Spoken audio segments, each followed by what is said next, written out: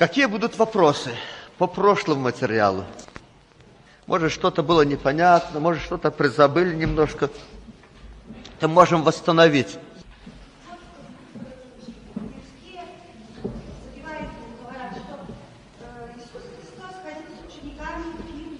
Угу. Я в Писании написано пьяница не войдет царство угу. а мы не пьяницы, 100 грамм, 200 грамм выпили. Угу. Поэтому вот первое чудеса, и вот он сделал вино. Угу. А вот Павел говорит Тимофею, это выпить, а вот как и как вы угу.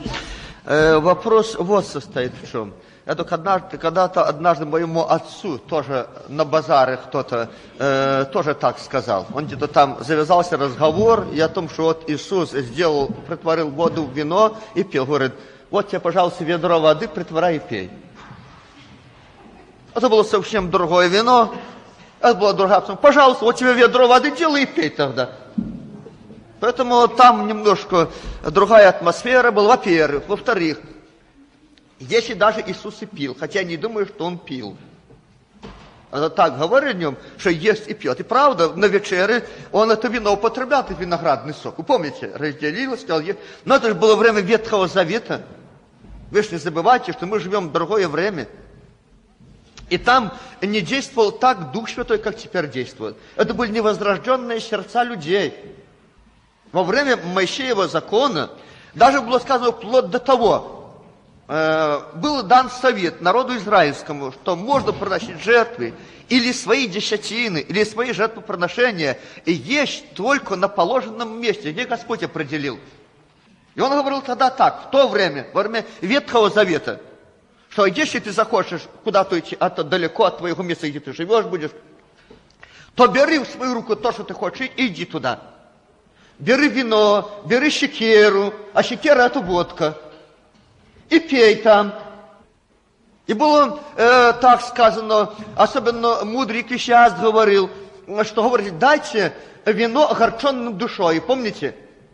И Щекер, чтобы он забылся. Это было то время, когда были плоские люди, и постановления им были даны по плоти. Во время Нового Завета есть возрожденное сердце – есть Дух Святой. И сегодня не надо пользоваться теми наркотиками, которые тогда употреблялись.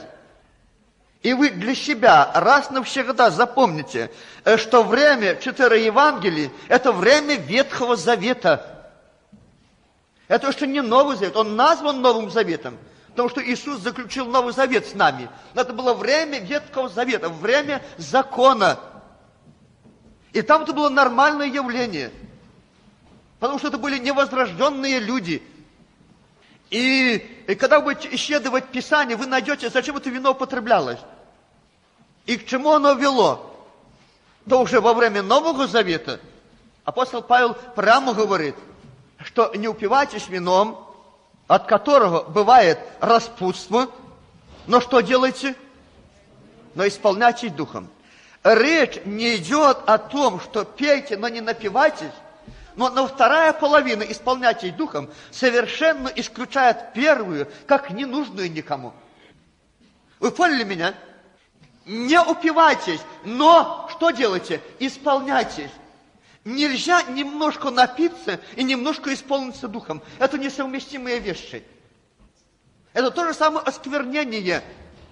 И все дело не в вине, а в том, что оно для многих людей стало наркотиком. Вот в чем дело. Это не пища и не питье. Это наркотик, через который люди забывают и э, даже уходили, э, открывали двери в духовный мир через наркотик.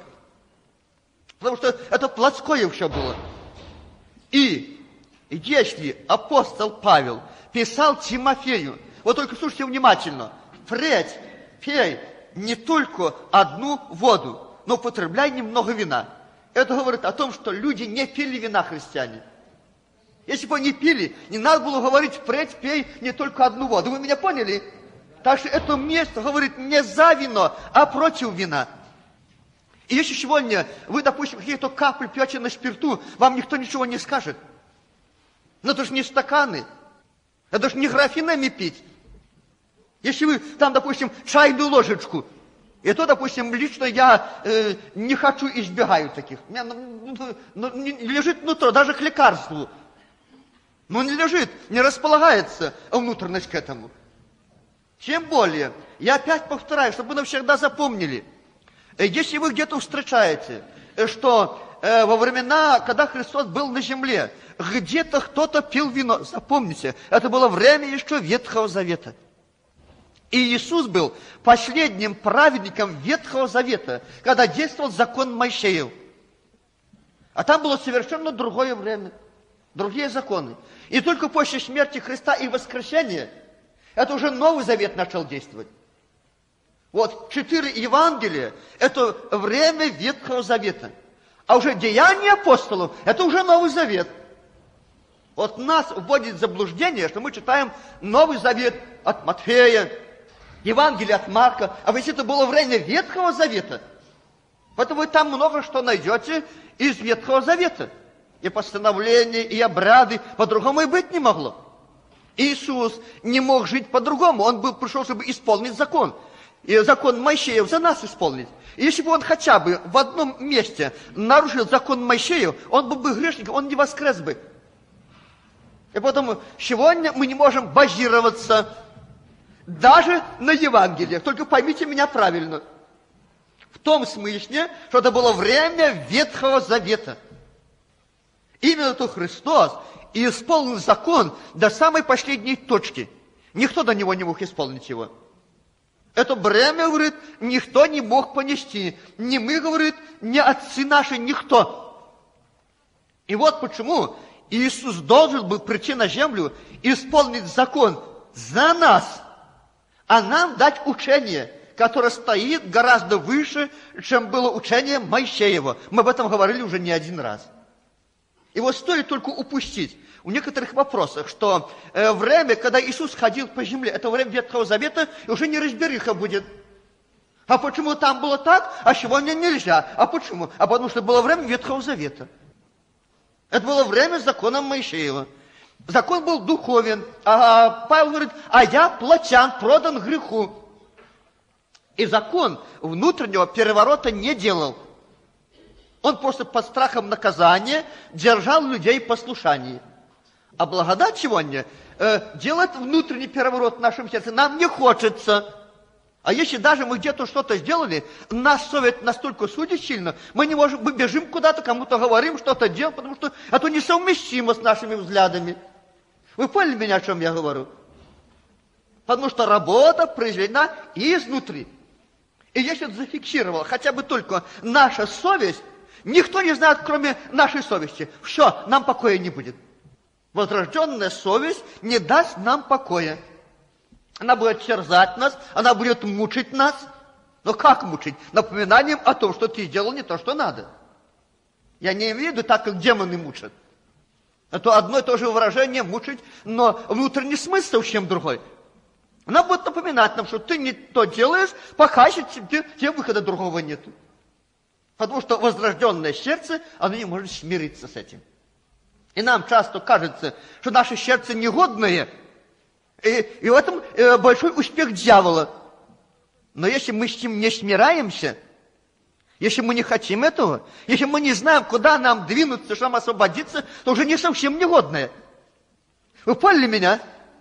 Человек, который негодное сердце, он будет делать грех, и он его не судит. Совесть не судит. Ему безразлично. А дьявол часто вот именно спекулирует на этом. Вот ты какой. Хотя человек не знает, куда ему бежать, что ему делать и к кому ему податься. Он говорит, все. Ну, я думаю, повторяться не надо, что я имею в виду каждого из нас есть какие-то свои минусы, как мы говорим, и есть плюсы, и есть некая борьба внутри. И если человек воюет со злом, с одной стороны, он не свободный, а с другой стороны, у него есть здоровое ядро и здоровые мысли. Он не согласен с этим. Если был согласен, ему было без разницы, как живешь, что делаешь, куда идешь. И если э, что, делая что-то неугодно перед Господом, вас ожидает совесть, вы хотите избавиться, это не совсем уже плохо даже. Вот когда вы делаете, вам говорят, что нельзя, а вы продолжаете делать, пытаетесь убедить себя и всех, что это хорошо, вот тут беда. Вот тут уже беда. А если идет борьба, есть война, есть искушение своего рода, без искушения не бывает войны, а без войны не будет победы. И если вы вспомните, что вы читали, и что я не один раз говорил, э, то всем, всеми церквам из Откровения Иоанна написано, побеждающий наследует все. Вы заметили? Кто такой побеждающий? Это тот, кто не свободен и кто воюет и побеждает. Свободному человеку нечего побеждать. Вы улавливаете вот эту мысль? Если вас куда-то не влечет, то вы сражаться не будете.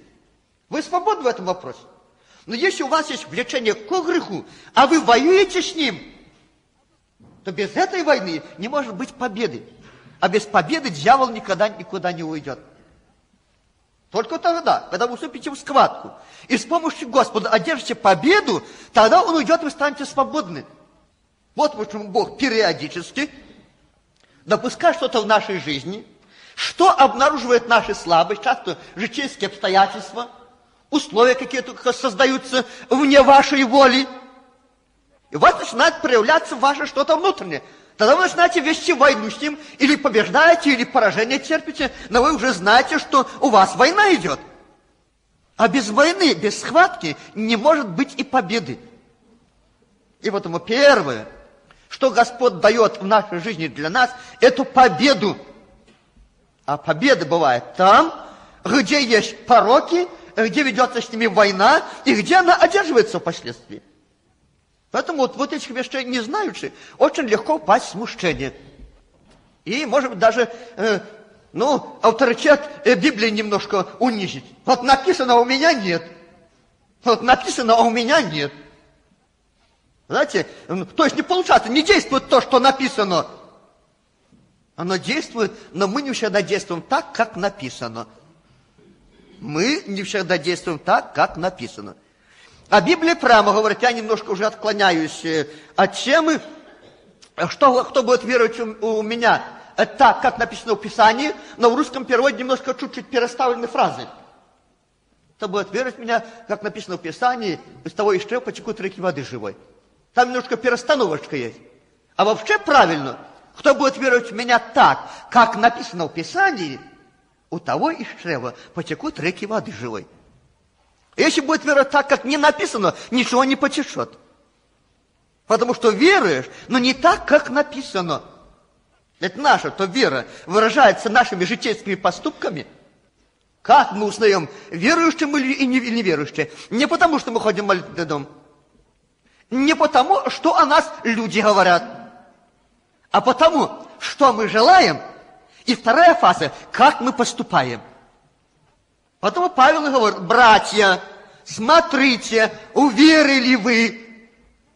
Он не говорит, там, вы там, миране, язычники, вы поглядите, уверили, нет, он так не говорил. Он, братья, а что им говорить? Какой они веры могут быть? Там никакой веры нету. Хотя они говорят, поломали веру, особенно православные. Там ломать ничего, там ничего не было. Для того, чтобы ломать, надо что-то иметь. Он валяется в грози, делает лишь бы что. Я православный, а вы веру поломали. Ну, не стали пить вместе с ними, такая вера, которой можно пить, можно ругаться, все можно делать. Ну, с одной стороны, э, неплохая вера в кавычках. Но э, такую веру, чтобы в преисподнюю попасть, не надо веры никакой, абсолютно. Туда попадешь без всякой веры. Не надо искать этой веры. А вот евангельская вера, мы говорим сегодня о евангельской вере. Мы сегодня не называем э, допустим, э, что люди называют верой, но там православная, католическая, это просто различные деноминации. И Библия не о них говорит, она говорит о вере Божией, которая основана на Слове Божьем. Не на чьих-то учениях, не на чьих-то традициях, не на каких-то авторитетах, которые были в прошлом. Вера настоящая, вера христианская, она основана на Слове Божьем. Вот на этом Евангелии, которое мы все держим. Это будет вера Божия. Поэтому просто вот некоторые вещи надо знать. Будем читать дальше, да? 22 глава. Иисус, э, продолжая говорить им притчами, сказал, «А Царство Небесное э, подобно человеку-царю, который сделал брачный пир для сына своего. И послал рабов своих звать званых на брачный пир, и не хотели прийти. Опять послал других рабов, сказал, скажите званным, вот я приготовил обед мой, тельцы мои, и что откормлено, заколото, и все готово. Приходите на брачный пир. Но они, пренебрегши то, пошли кто на поле свое, а кто на торговлю свою. Прочие же, схвативши рабов его, оскорбили и убили их. Услышав о чем, царь разгневался и послал войска свои, истребил убийц он их и сжег город их. Тогда говорит он рабам своим, брачный пир готов, а званые не были достойны. Итак, пойдите на распутье, и всех, кого найдете, зовите на брачный пир. И рабы те, вышедшие на дороге, собрали всех, кого только нашли, и злых, и добрых, и брачный пир наполнился возлежащими. А царь, вошед посмотреть возлежащих, увидел там человека, одетого в неубрашенную одежду, и говорит ему, друг, как ты вошел сюда в неубрашенной одежде? Он уже молчал. Тогда сказал царь слугам, связавший ему руки и ноги, возьмите его и бросьте во тьму внешнюю. Э, там будет плач и скрежет зубов, ибо много званых, а мало избранных. В некоторой мере мы уже эту тему затрагивали, но думаю, что если даже мы сегодня будем говорить, мы ее не вычерпаем вот всей той глубины, которая заложена в этой притче. И эту, кстати, еще одна из притч, э, через которые Господь каким-то образом хотел рассказать, э, каким же это будет, это Царство Небесное. И рассказывал на земных примерах. То я взял аналогию, э, которой можно было некоторые действия найти на земле у людей – и нечто похожее найти именно в образах Божьих или в действиях Божьих в отношении нас. И он сказал так, что Царство Небесное подобно человеку-царю, который сделал брачный пир для сына своего. Не просто родовой человек, который сделал брачный пир, который тоже зовет к себе званых, но это был царь. Это был человек, который, во-первых, умел очень хорошо приготовить пир – у него для этого были все возможности, все под руками и все под руками. И второе, на что здесь надо обратить внимание, это был царь, который впоследствии за неявку на брачный пир мог уже не милостью посмотреть на человека. Это же царь. Вы знаете, около царей э, с одной стороны было очень хорошо, а с другой стороны очень опасно. И на сегодняшний день тоже так. С великими людьми быть очень опасно, потому что они великие люди. Угодил цару, все благо. Не угодил цару, завтра без головы оказался. Вы знаете, так вот у родовых людей. Ну, угодил, не угодил, ну, прогнали с работы, ну, ну, ну что там. А уже когда цару не угодил, вы знаете, они но обладающие властью довольно жестоко расправлялись с теми, кто им не угодил.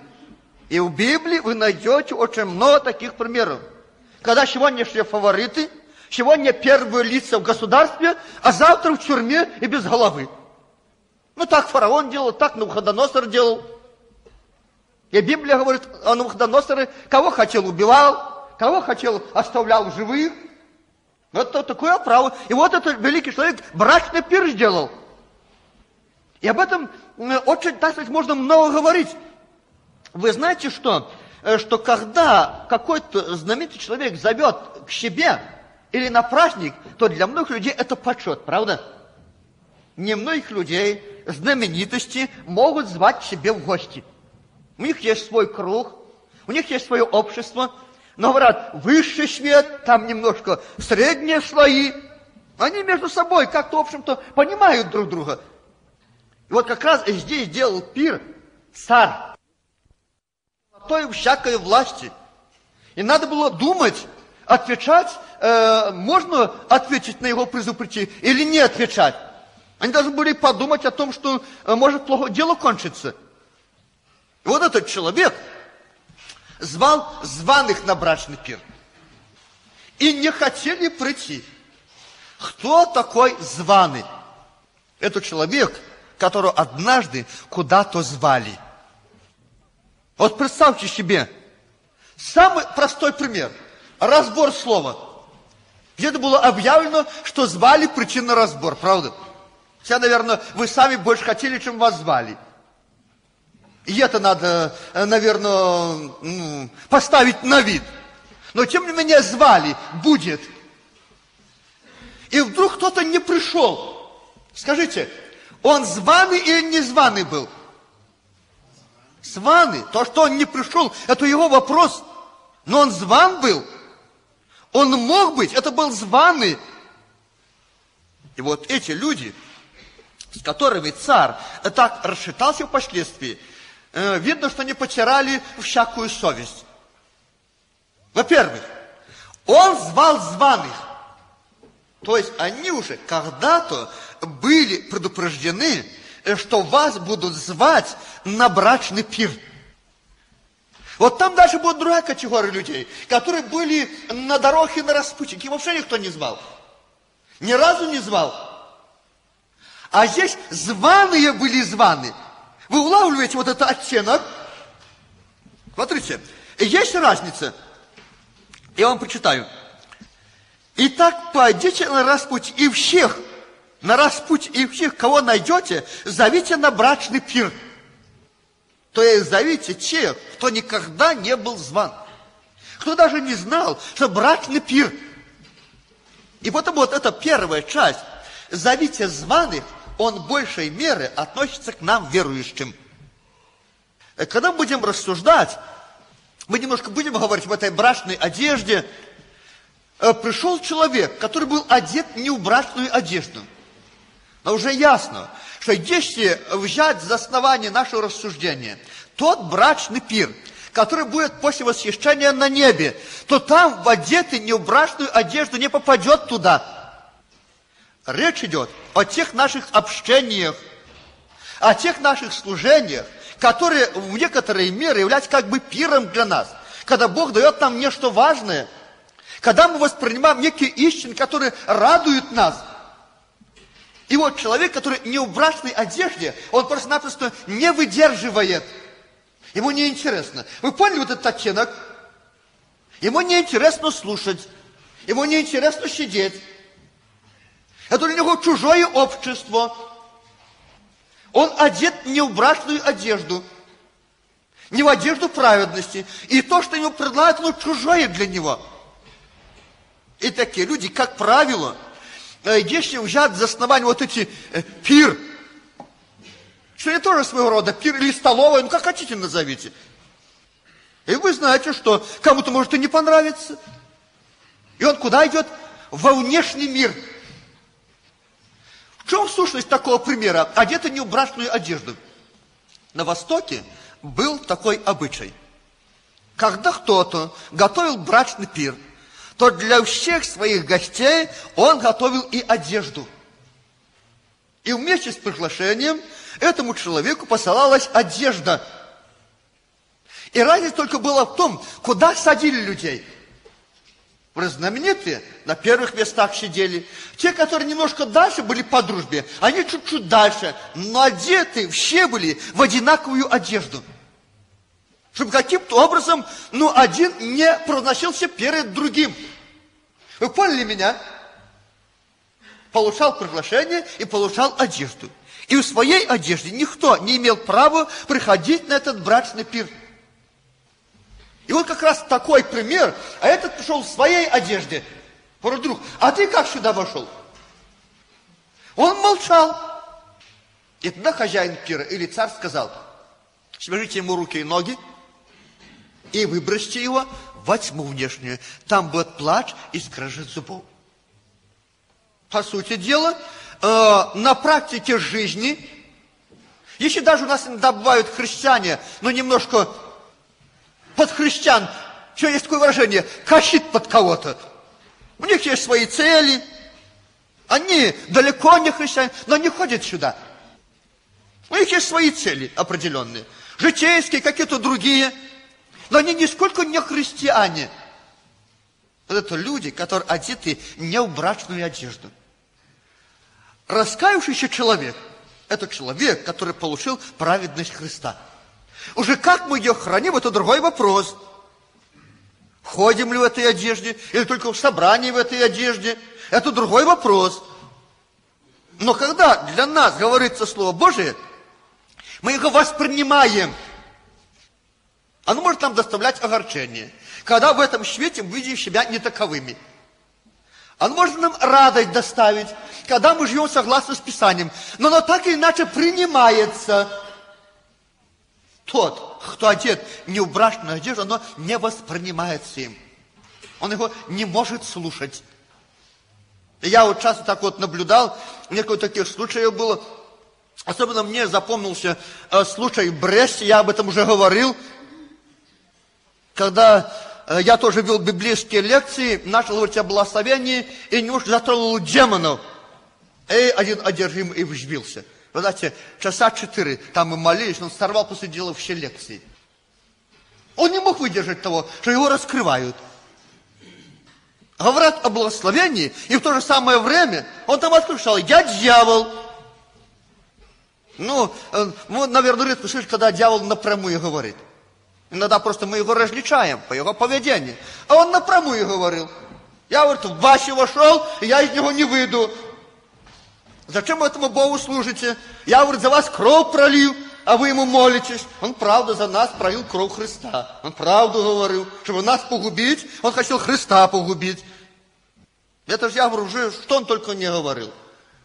Вот, и, и не выйду, но правда говорят, после его увезли, он успокоился, вроде говорят, нормальный стал. Наверное, время было даже, не знаю, короче. Это совсем в другой области он был, этот э, брат. Не в брачной одежде. Это было настолько ему неприемлемо, что он просто не мог выдержать этого. И вот вы замечайте собрание. Ну, правда, наверное, вам труднее замечать, потому что вы слушаете. А вот, допустим, мне, когда я сижу и вижу всех вот так, мне очень хорошо видно, как люди морщатся, как ерзает, когда им говорится. Когда человек вот, бьет у цель, он начинает заговаривать с другим, чтобы не обнаружить себя. Вы поняли меня? Ну, так часто делают. Когда его касаться начинают что шептаться, вроде бы его и не касается совсем другому. Она так смотрит, думает, ну ты же лукавый. Сидел бы молча, то не догадался бы никто. А так вот сам себе выдаст человек. Он старается себя спрятать и начинает стараться, и тут же выдает себя. Вот не может уж начинать дергать, крутиться. Э, и уже видно, что человеку не нравится. Даже попал в больное место. Как мне кто сказал, говорит, э, там было осиное гнездо, а ты палкой ткнул, вот и получилось. Ну, такое часто бывает в жизни. Просто вот палкой ткнул в то осиное гнездо, которое было. Потому Слово Божие, оно прекрасно обнаруживает сердце человека. Сошел хозяин, посмотрел, зашли, посмотрели, как кто реагирует, и уже можете сделать какой-то вывод – что с человеком не все в порядке. Этот тоже зашел, брачный пир, собрал всех, званые не пошли. И мало того, что не пошли, э, прочие же, схвативши рабою, оскорбили и убили их даже. Вот так вот, какое такое поведение ненормальное. Их зовут на брачный пир, а они взяли посланцов, убили, чтобы не идти на брачный пир. А вы знаете, почему так было? А тут написано – кто пошли на поле свое, а кто на торговлю свою. Их вся жизнь заключалась в их работе. И, наверное, поэтому Бог израильскому народу в приказном порядке увел субботу праздновать. Вы сегодня такое наблюдаете? Одни могут отдыхать, а другие не могут. Как только свободный день, воскресенье, они там возят, они пилят, они рубят – Некогда отдыхать. Тогда Бог в приказном порядке народу израильскому сказал, субботу будете праздновать, отдыхать будете. А после их укорял. В книге, кажется, э, пророка Амоса, он сказал так, вы никак не можете дождаться, когда пройдет суббота, чтобы начать торговать и заниматься своими обычными делами. Вот, наверное, тоже когда-то было, когда вы что-то хотели очень делать, а знали, что нельзя в воскресенье, никак не могли дождаться понедельника, да? Скорее бы это воскресенье, да на работу. Вот такая натура человека. Хотя Бог прекрасно знает, человеку нужен отдых. И он эту субботу поставил не столько для себя, сколько для человека. Сказал, все, даже под страхом смерти. Кто будет делать дело в субботу, побивайте их камнями. Просто хотелось, чтобы человек имел здоровый образ жизни и так далее. Я уже не говорю про более глубокие вещи. Это и на будущее, как пророчество, и о той субботе э, времени покоя, которое будет. Я просто взял чисто человеческую сторону. И Бог, когда что-то делал, Он имел в виду и одну сторону, и другую. И чтобы с телесной стороны доставить благо человеку, и с духовной научить чему-то, научить дисциплине. Вы думаете, Богу было жалко свинью отдать съесть израильтянам? На нисколько. Или зайца? Да что, я говорю, ешьте вы что хотите. Но второе, надо бы их дисциплинировать. А на сегодняшний день дать нам какие-то прообразы глубокие, которые в этом сокрыты. Потом мы сегодня немного не понимаем из Ветхого Завета. Если бы нам открылись глаза на эти прообразы Ветхого Завета, то даже в Новом Завете мы имели бы э, ну, более широкий кругозор, чем мы сегодня имеем. Потому что это все те чертежи, Ветхий Завет, чертежи благодати Божией, я не побоюсь так сказать.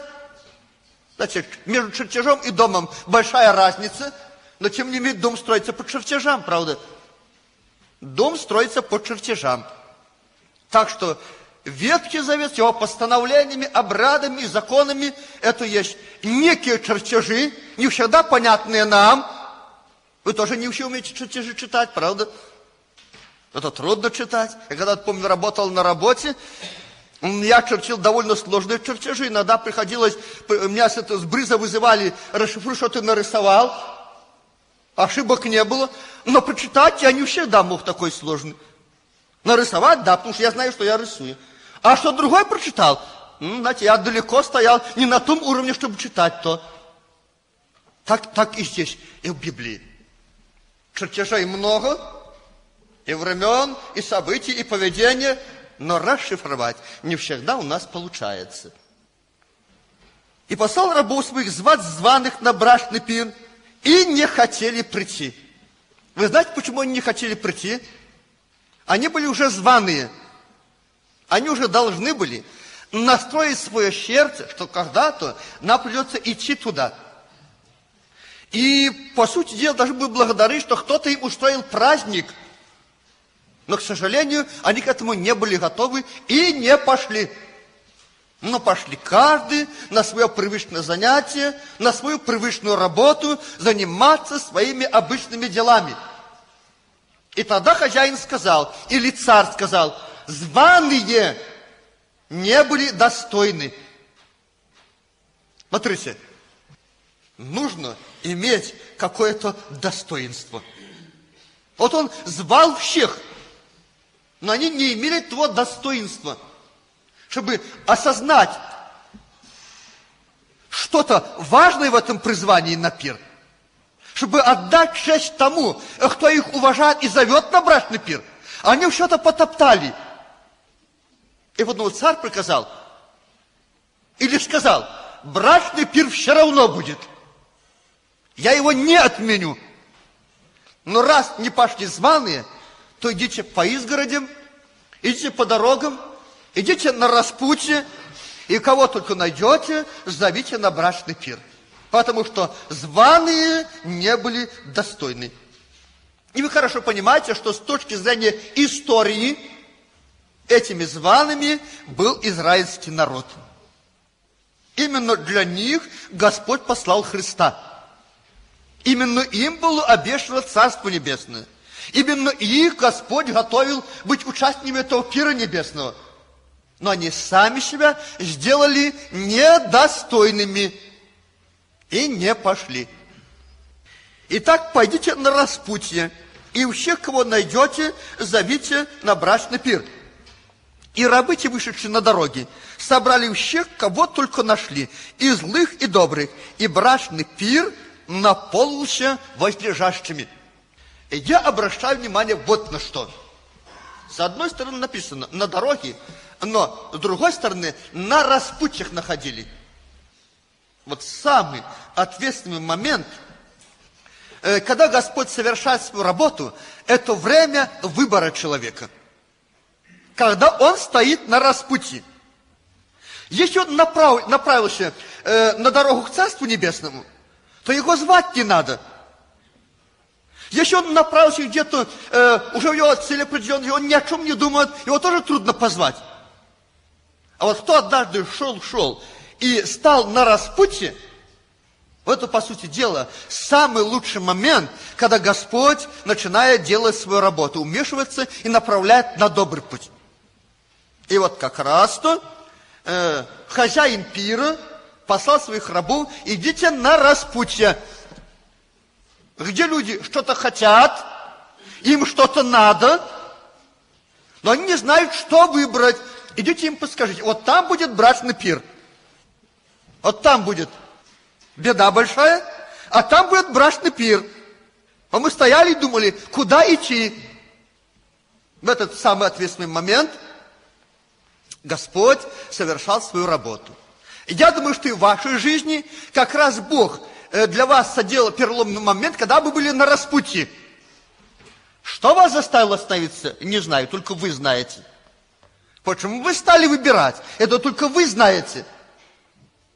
Но в момент распутья, когда у вас был выбор, в некоторых случаях жить или смерть, в других случаях, ну, другие случаи были, в эти случаи разные наполнения, внутреннее содержание, но как раз Бог достиг на распутье. Хотя, может быть, и не только может быть, так оно и есть, Он сам создавал такую обстановку. Потому что сам по себе человек никогда не обращался бы к Богу. Это не в его натуре, это не в его характере. Потому Господь показывает трудности жизни, показывает, что впереди нет будущего, и показывает направление, где оно есть. А ты же тогда выбирай. Но как раз те распутье. И без всякого сомнения, как раз здесь речь идет о языческом мире, который никогда не знал Бога, или лучше сказать, давным-давно оставил его и забыл, каков он.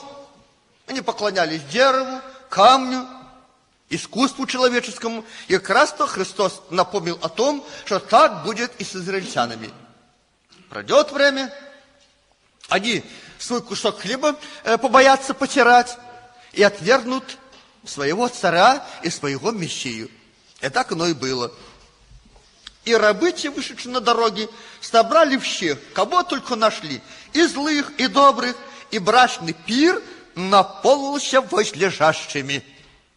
Но вы сегодня можете сказать, что, ну хорошо, что злых нашел, это хорошо, а что добрых нашел, никакой заслуги здесь нет, тоже добрые. Здесь тоже есть свой смысл – вы знаете что? Э, что наша душа или наше ядро, или наш дух, он сотворен Господом праведным, с добрыми намерениями. И Клещаст об этом сказал очень прямо и ясно, что Бог сотворил человека правым. И там дальше он добавляет, а люди пустились во многие рассуждения. Так вот, того, что человек есть прав сам по себе – Этой праведности очень мало, чтобы жить в вечности. И есть люди по натуре очень хорошие и добрые. Но им все равно нужно покаяние. Потому что эта доброта может расти на основании э, того здорового ядра Духа Человеческого. И может расти от Духа Святого. Его доброта человека, она временна, она может поколебаться – но там, где будет та же самая доброта снаружи, но рожденная Духом Святым, она никогда не поколеблется. Вы поняли меня? Вот один добрый и другой добрый. Но один добрый по собственной натуре, а другой добрый, потому что работа Духа Святого была над ним придачу. И потому Христос призывает всех и добрых, и злых. И мы часто думаем, ну как так, такой добрый человек. И он говорит, погибнет. Да, погибнет. Без Христа погибнет. Потому что самый высокий уровень доброты человеческой не устраивает Бога.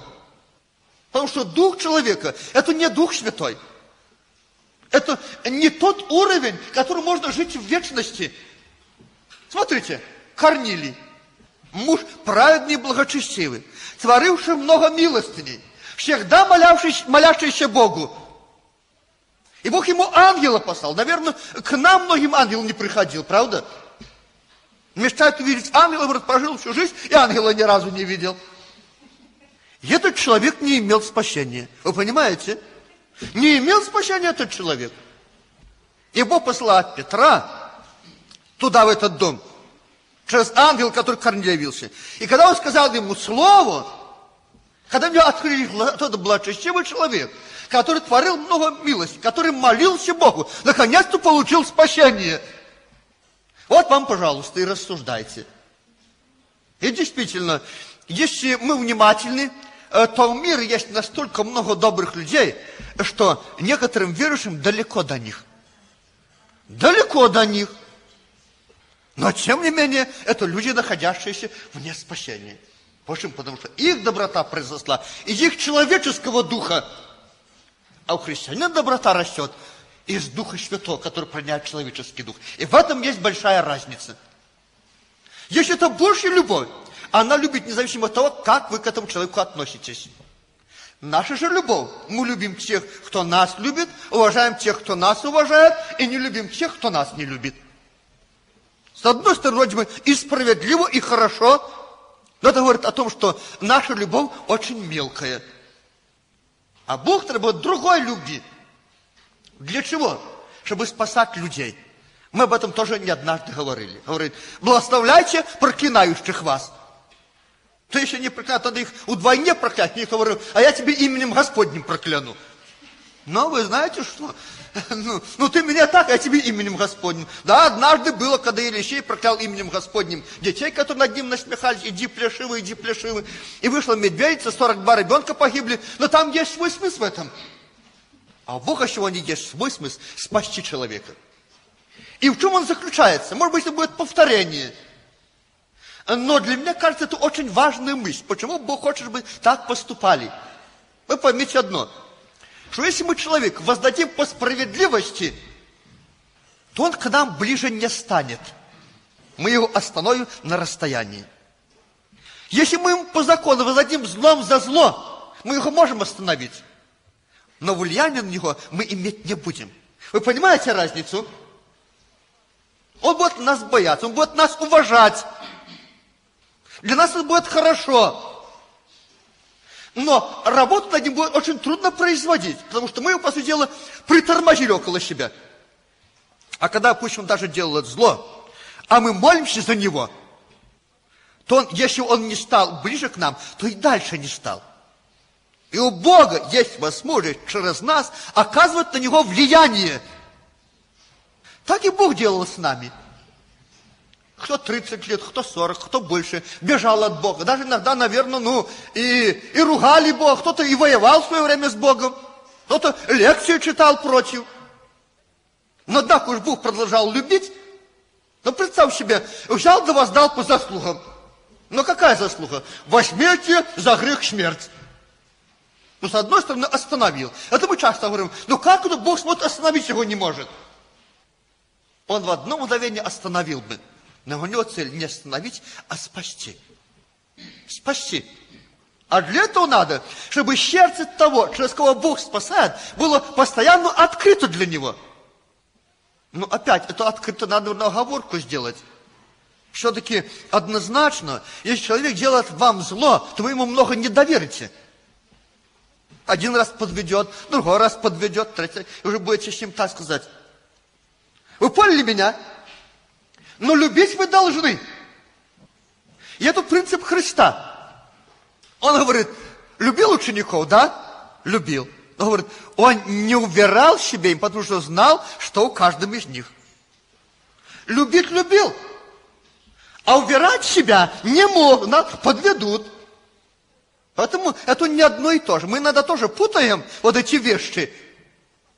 Ты его не любишь, почему ты его за кафедру не пригласил? А говорит, я их люблю, но там еще 700 человек, которых я тоже люблю. я не хочу, чтобы он их, э, так сказать, ну, э, 40 э, минут говорил лишь бы что. Но же не значит, что я люблю и должен люби его и дай ему, он будет говорить лишь бы что. Получается, я его одного люблю, а всех остальных не люблю. Вот у нас на такое будет не совсем правильное понимание любить. Любить, поступать по Слову Божьему. Где прощать, прощать. Где наказать, наказать. Но то по любви. Потому что если человек делает зло, и есть один метод его остановить, как бы важно, силовые структуры есть в государстве. У нас тоже есть силовые структуры. Если ему дать развиваться в этом зле, это же будет большее зло для него. И пусть ему будет даже неприятно, но я его должен остановить, наступить на ногу. Стоп. Иногда больно бывает, а то надо. Видишь, брат согрешающего, что сделай? Обличи его, правда? Для чего? Чтобы его огорчить? Нет, чтобы его остановить. Потому что вот человек, льщащий другу своему, что делает? Расстилает для него сеть. А кто ему прямо скажет? Пусть он даже обидится, но он уже будет думать. Будет думать. А что таки? А почему мне так сказали? А вдруг правда это так?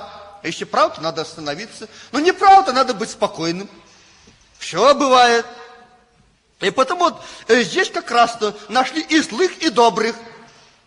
То, что и те, и другие нуждаются во спасении Божьем. И по Божьему стандарту ни одни, ни другие не могут быть на брачном пире. Это не библейский стандарт. Может быть, по справедливости в этом ничего особенного нету. Ведь Евангелие стоит выше справедливости закона. Там другие стандарты. Я помню, однажды приехали мы с братом поздно уже, просто немножко смешной пример, но это правда было. Э, и хлеба не было. Ну, мы попросили ее, она нам просто такой черствый-черствый хлеб. А мы сели, говорим, а мы тебе, э, бабушка, отдадим. Говорит, э, говорит, не надо отдавать. Я, мы сами его не едим, мы его свиням кормим уже. То что отдавать не надо. Он не знаю, был у него другой, не был, но надо то, э, что свиньи едят.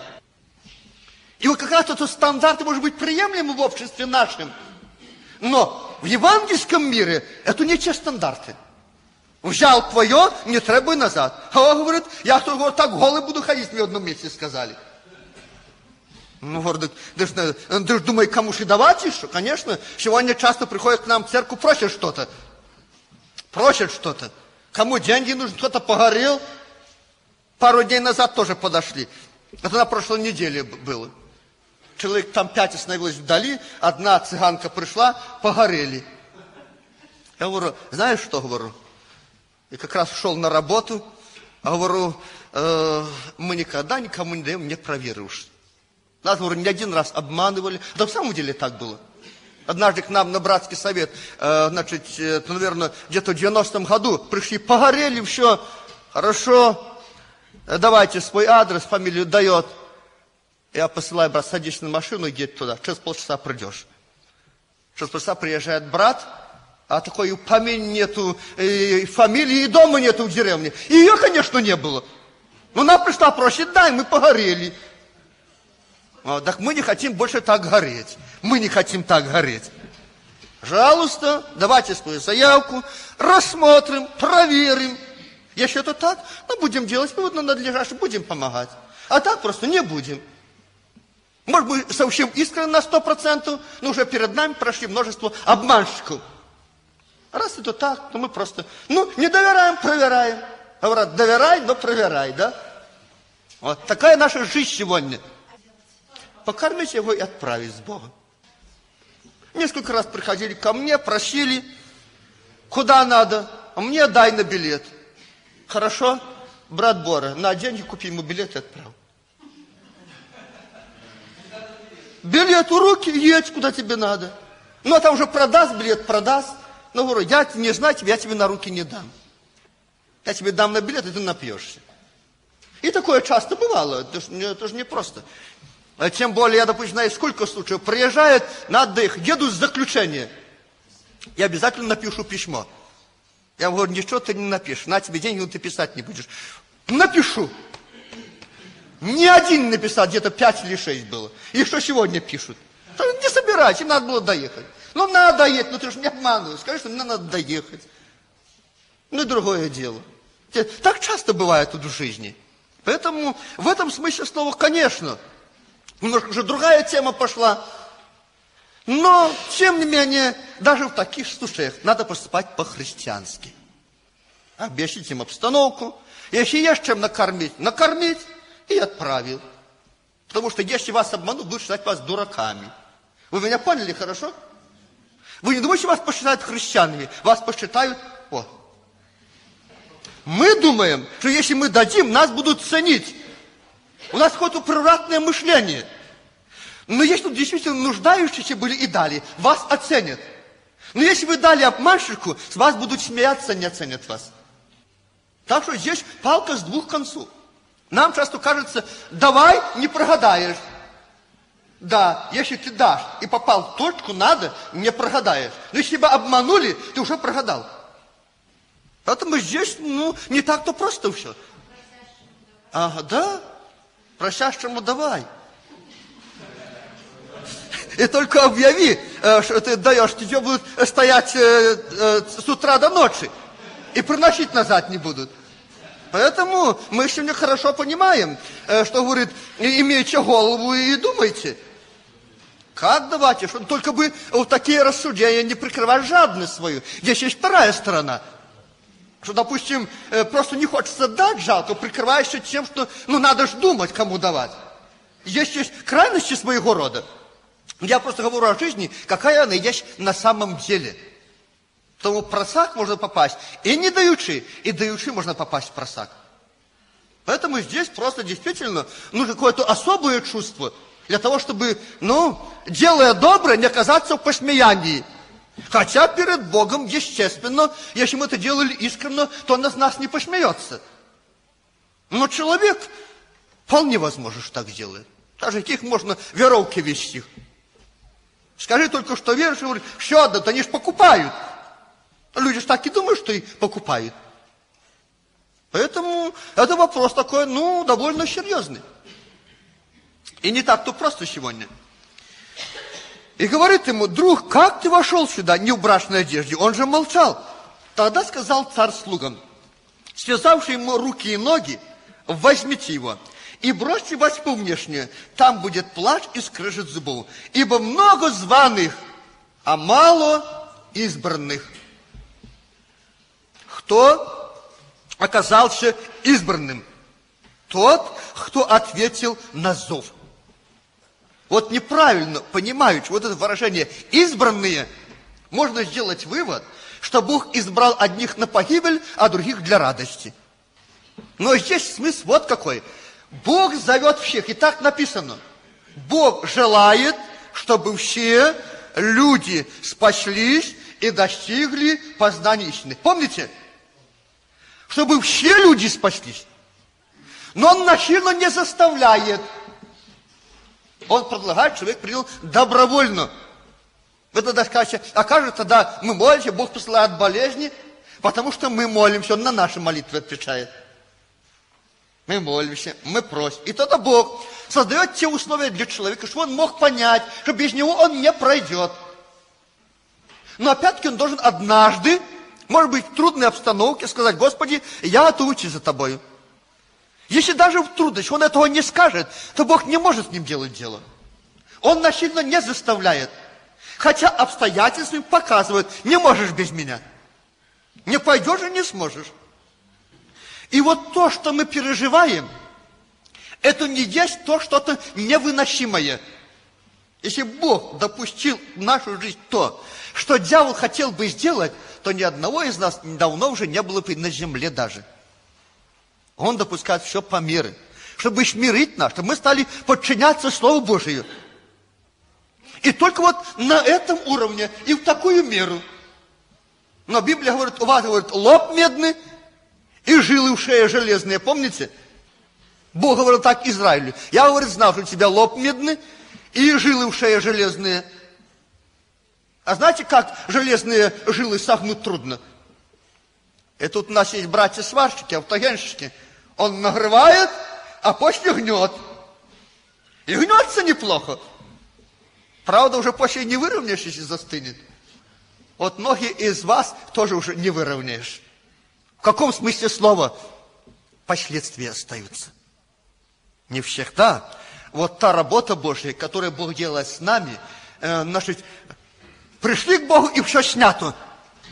Довольно часто остаются знаки. Чтобы мы всегда помнили, что Бог делал с нами. Наверное, вы помните э, э, старый верующий Гаркавого, да? Регентом был, школьный учитель. Вы помните, когда его девочка родилась уродом? Она, правда, не знаю, э, э, как она сейчас где. Уже из поля зрения она выпала. Ну, вы помните эти свидетельства? Когда молились, и там, наверное, и грудь открыта была, и, и это, как это называется, заячья губа. Ну, короче, урод. И когда где-то, э, что некоторое время, не помню через сколько, может, кто-нибудь помнит более точно, э, когда стали молиться вообще в окрестности, и когда Бог исцелил эту девочку, когда сказали, это у Ганцевича она в больнице лежала, принесите нам девочку Горкавого, и принесли ее здоровую, сказали, вы что делали? Я же просила врач, Горкавого девочку привезти.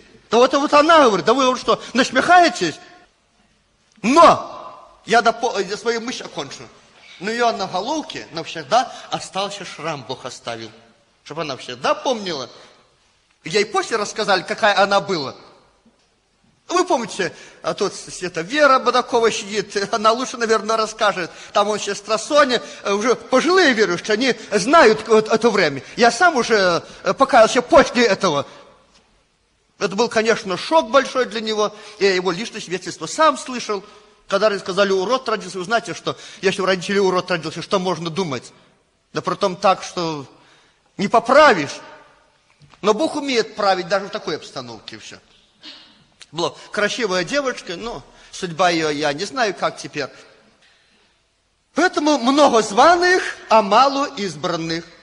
И если сегодня даже вот э, взять нашу церковь, сколько людей каялось, не просто, которые приходили в церковь. Вы знаете, кто однажды пришел в церковь, и его призывали к покаянию, это уже был званый. Но даже те, которые однажды склоняли колени, я думаю, если бы в щите, э, кто каялись у нас, кто склонял колени и просили за них молиться, остались здесь, то меньше пяти тысяч не было бы в церкви. Но всего 1240. Не так просто. Раз многие поищут войти, и что? Они возмогут. Вот почему не возмогут? Это опять для каждого человека своя причина, почему невозможно.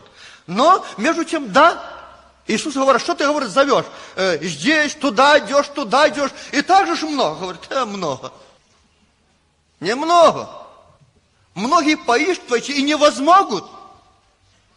Честные ворота. Что за ворота честные? Слово Божие. Оно не для всех приемлемо. Но не для всех приятно. Хотелось бы расширить эти ворота. А Бог никак не расширяет. Мы расшираем, расшираем, потом посмотрим, сужать приходится все равно. Сначала расширял, а потом сужает, потому что в беду попал. Так что лучше всего честными воротами ходить. Я часто говорю, может, я говорю, можно, может, и можно. Но у тебя, если есть сомнения, то лучше не делай. Так будет надежнее. Может и можно. Но если нет конкретности, если есть сомнения, то лучше не делай. Так будет лучше. Лучше пусть будут более честные ворота, чем за широкие. Но, к сожалению, людям хочется широкие ворота иметь. Хотя в Библии они одни ворота, очерченные Словом Божиим, и никаких других быть не может. С 15 стиха читаю дальше. Тогда фарисеи пошли и совещались, как бы уловить его в словах, то есть Иисуса Христа. И посылают к нему учеников своих с иродианами, говоря, «Учитель, мы знаем, что ты справедлив, и истинно пути Божьи учишь, и не заботишься об угождении кому-либо, ибо не смотришь ни на какое лицо. Итак, скажи нам, как тебе кажется, позволительно ли давать подать кесару или нет?» Но Иисус видел лукавство и сказал – что искушайте меня, лицемеры? Скажите мне монету, которой платится подать. Они принесли ему динарий. И говорит им, чье это изображение и надпись? Говорят ему кесаревы. Тогда говорит им, итак, отдавайте кесарево кесару, а Божье Богу. Услышавши это, они удивились и, оставивши его, ушли. Здесь, короче говоря, одно направление политики дьявола. Смотрите, кто искушал Иисуса Христа? Книжники, фарисеи здесь написано. И кто иродиане? Это, по сути дела, представители государства. Они их позвали, хорошенько обдумали. И почти всегда, если где-то когда-то были гонения, то, как правило, дьявол делал все так, чтобы христиан представить врагами власти существующей. И их руками совершать работу. И в данном случае он использовал тот же самый метод. Они хорошенько продумали, что они будут говорить. Они хорошо понимали, и здесь они сказали, мы знаем, что ты справедлив. То есть, дорогой Иисус, мы тебя очень просим, будь теперь справедливы. Говори то, что надо говорить. Это же по сути дела. Они, он никогда не шел на попятно, но они ему уже предварительно отрезали путь. Чтобы хотя бы он не сказал что-нибудь. Мы знаем, что ты справедлив, что истинно пути Божьи учишь. Вы знаете, что такое сказать истинно пути Божьи учишь? Если бы Иисус не догадался, как поступить, они объявили бы э, врагами все христианства. Что путь Божий – это путь сопротивления власти. Это путь сопротивления начальству. Смотрите, что они говорят. Ты справедлив, истину пути Божьи учишь. И дальше. И не заботишься об угождении кому-либо. Ибо не смотришь ни на какое лицо. Итак, скажи нам – как тебе кажется, позволительно ли давать подать кесару или нет? И здесь надо было отвечать. И здесь надо было отвечать. И нужна была эта мудрость. Иисус видел их лукавство. Он видел, что они хотят, к чему они клонят. Поставили представителя власти и задают вопрос, провокационный называется – вот так часто люди делают. Провоцируют человека на какой-то ответ. Чтобы впоследствии его взять за основание и обвинить его. И отдать его в руки тех, которые имеют власть э, что-то сделать плохое. Та же тактика и в то время была. Позволительно и давать подать кесару или нет. А в то время римский кесар, он владел э, всем Израилем владел всем цивилизованным миром в то время. И в том числе Израиль был под их властью. Но Иисус видел лукавство и сказал им, что искушаете меня, лицемеры? Он им показал, что он действительно истинно пути Божий учит, и не смотрит ни на какое лицо. Хотя вы духовенство, хотя рядом с представителем власти, но вы лицемеры. Покажите мне монету, которой платится подать. Чье-то изображение и надпись. Кесаревы. Итак, отдавайте кесару кесарево, а Божий Бог. Только не попутайте. Богу не надо кесарево. Богу не надо кесарево отдавать. А кесару не надо Божье отдавать. Хорошенько подумайте, что кесарево, а что есть Божие, и стойте на этой позиции – Сегодня можно однобоко взяться. Можно все Божье отдать кесару. Христос здесь так не учил и так не говорил. Он сказал, на основании слова, хорошенько рассмотрите, что есть кесарово, а что есть Божие. И отдавайте кесару кесарово, а Божье Богу. Здесь напрашивается другая мысль. Из чего состоят наши капиталы и наши доходы. Я об этом уже однажды говорил. И есть в наших доходах, в нашем имуществе Кесарево, Божье и наше. Христос так говорил. Я уже повторяюсь. Кесар от нас сразу забирает свое. Заработали, осчитали процент и сказали, это на налоги. Правда? И он нас оберегает от греха. Может быть, коммерсанты немножко умеют там что-то. Хотя сегодня надо сказать несправедливые законы. И Библия говорит тем, кто постановляет несправедливые законы и пишет жестокие решения. Есть определенные проценты, и есть разумный доход, и есть то, что Бог предназначил, чтобы люди отдавали для содержания государства. То как бы мы ни говорили, мы часто можем э, нарекать на ГАИ, на милицию, но без них было бы очень плохо. То, что не могут иногда перебирать меру и сверх своих полномочий, это другой вопрос. Они имеют определенные функции, у них есть своя задача, у них есть э, свой закон и свой порядок. И если бы они соблюдали полностью закон, наверное, было бы неплохо. Но все дело в на всех уровнях, и мы в том числе можем где-то перелазить эти рамки, нарушать его. Но самое главное, есть часть Кесарева, потом есть часть Божья. Христос так сказал, а Божье отдавайте Богу. И как раз то Божье, это является десятая часть наших доходов, наших заработков. И это не закон, это не Ветхий Завет. Потому что первый, кто делал десятину, был Авраам, отец всех верующих. Он не был под законом. До Моисея было очень далеко. Закон был дан После Моисея где-то 430 лет спустя, там где-то эта цифра фигурирует. И только потому, что люди потеряли совесть. Люди потеряли совесть. Они забыли. Именно Аврааму э, на сердце было положено отдать десятину, совесть его заговорила. Дух Святой через сердце. Бог ему диктовал, отдавай мне. Ничего Бог не говорил. Это все родилось в его сердце. И поэтому эта десятая часть, это по закону. Она была установлена для плотских людей, невозрожденных. Вы поняли меня? А мы сегодня возрожденные. И поэтому есть Кесарево, и есть десятина Богу, и есть пожертвование. Вот когда вы отдали десятину, если хотите исполнять Слово Божие так, как надо – если рассчитались с государством так, как надо, то из того, что у вас осталось, можете жертвовать, это будет называться жертвой. А десятина – это не жертва, это то, что положено отдавать Богу. А? Да, должна получать. Э, здесь речь идет э, не просто на нужды немощные. Они практически все должны идти э, на нужды.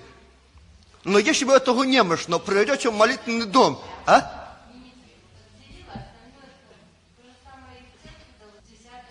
Сегодня десятая часть. Сегодня должно больше. Десятая часть человек, которые под законом жили. Для плотских людей десятая часть. Это для плотских людей написано было. Для духовных не надо писать, не сами знают. Для духовных не пишется ничего. У них рождается это желание в сердце, внутри. А естественно, когда, допустим, те же самые левиты давали десятину, то, конечно, первое, что было для них, это они содержали храм. Там были еще другие пожертвования, было очень много, не только одна десятина. Они э, для поддержания порядка и так далее. У них были действительно служения, которые нам сегодня не снились. Вы помните, это служение вдовиц, Анна пророчица, дочь Фануилова, достигла глубокой старости, она все время была при храме. Она постом и молитвой служила Богу день и ночь. И, да, это Ветхий Завет. И вот из всех пожертвований ее кормили за то, что она молится. В апостолах было служение вдовиц. Брали на содержание, одевали, кормили, чтобы они молились и постились. О, попробуйте. Попробуйте. Тише, тише, сестры. Как, как про деньги заговорили, так язык нашелся, да? Это такая вещь, которой нельзя равнодушным быть. Во-первых, э, там речь шла не о вдовах, вы поймите правильно. Вы помните, что апостолы сказали? Если кто-нибудь в своем доме, имея вдову, пусть кормит сам. Если есть. Были истинные вдовицы и вдовы, которые просто лишились мужей. Так вот, истинная вдовица, во-первых, для нее были стандарты высокие. Не меньше, чем 60 лет. Которая была известна добрыми делами – которая умывала ноги святым, принимала страньку. То есть она была готова переступить порог в вечность святой, ей не надо было готовиться. И она уже, будучи приготовлена, могла молиться. И вот такую старицу избирали, брали на содержание церкви полностью. Она занималась только тем, что молилась и постила, чтобы был успех благовествования. А потом не путайте вдовиц и истинных вдовиц. Истинная вдовица – это не просто вдова. Это женщина, потерявшая мужа, но которая прожила благочестивую жизнь и могла принести пользу. А что вы возьмете на содержание такую вдовицу, молиться и поститься, она будет лежать, вот лежи некто в окно, а воровать захотели. Ну что же ее толку, что будете брать ее на содержание? Я понимаю, помочь ей, когда у нее нет хлеба, это другой вопрос. Это был бы лазарет какой-то. Но вы, вы сами знаете, что так бывает. Она не знает, э, э, ну, в своей жизни встречали таких людей. Ну, это ж не называется истинной Дависой по Библии. Таких никто не брал на содержание. Им помогали. Они в некоторой меры были тяжестью для церкви. Но все это делалось за счет пожертвований. Они приходили в большом количестве и так далее, и так далее. А потом вопрос, больной до сегодняшнего дня, но больной для тех, кто хочет, чтобы он был больным. Кто захочет знать истину, он он найдет. Но есть люди, которые не хотят ее знать, не знают и не хотят знать. Один брат сказал так, я понимаю так, меня это устраивает, я ничего другого знать не хочу. Ну, в добрый путь. Но где он кончится, не знаю. Ну, иди, кто ж тебя будет заставлять.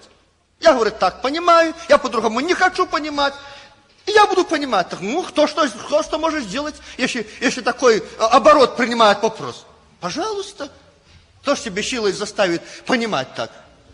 Но все дело в том, есть много людей, которые толкутся на меч только потому, что не хотят знать. Если бы люди обращались к Богу, все вопросы давно были бы ясными. Не было бы этих недопониманий, не было бы проблем различного рода. Но они для некоторых людей очень выгодны, эти проблемы. Они у них живут, они их любят. И как американцы говорят, вот русские без проблем не могут. Если у них нет проблем, они их создадут и будут карабкаться в поту. Они не могут без проблем. Им нужны проблемы, что движения не будет. И в некоторой мере это и так. Они без проблем не могут. Нет проблем, и сделают. И будут иметь их, и будут работать в поте лица, и так далее. Услышавши это, они удивились и, оставивши его, ушли. В тот день приступили к нему садукеи, которые говорят, что нет воскрешения, и спросили его, «Учитель, Моисей сказал, если кто умрет, не имея детей, то брат его пусть возьмет за себя жену его и восстановит семя брату своему. Было у нас семь братьев. И э, первый, женившись, умер, и не имея детей, оставил жену свою брату своему. Подобно и вторым, и третий, даже до седьмого. После живших умерла и жена. Итак, в воскрешении – которую из семьи будет она женою, ибо все имели ее. Иисус сказал им в ответ, заблуждаетесь, не зная Писания, ни силы Божьей. Ибо в воскресенье не женятся, не выходят замуж, но пребывают, как ангелы Божии на небесах. А в воскресенье мертвых не читали ли вы реченного вам Богом? Я Бог Авраама, и Бог Исаака, и Бог Якова, а Бог не есть Бог мертвых, но живых. И слышав народ, дивился учению его. Следующий этап искушения, или уловить чем-то хотят. Здесь уже приступают садукеи, которые говорят, что нет воскрешения, и спросили его. Ну и дальше текст знаете. Взяли из закона Моисеева, знаете, такой составили ребус или загадку, или этюд шахматы, который в жизни вообще могло и не быть никогда. И потребовали решить его.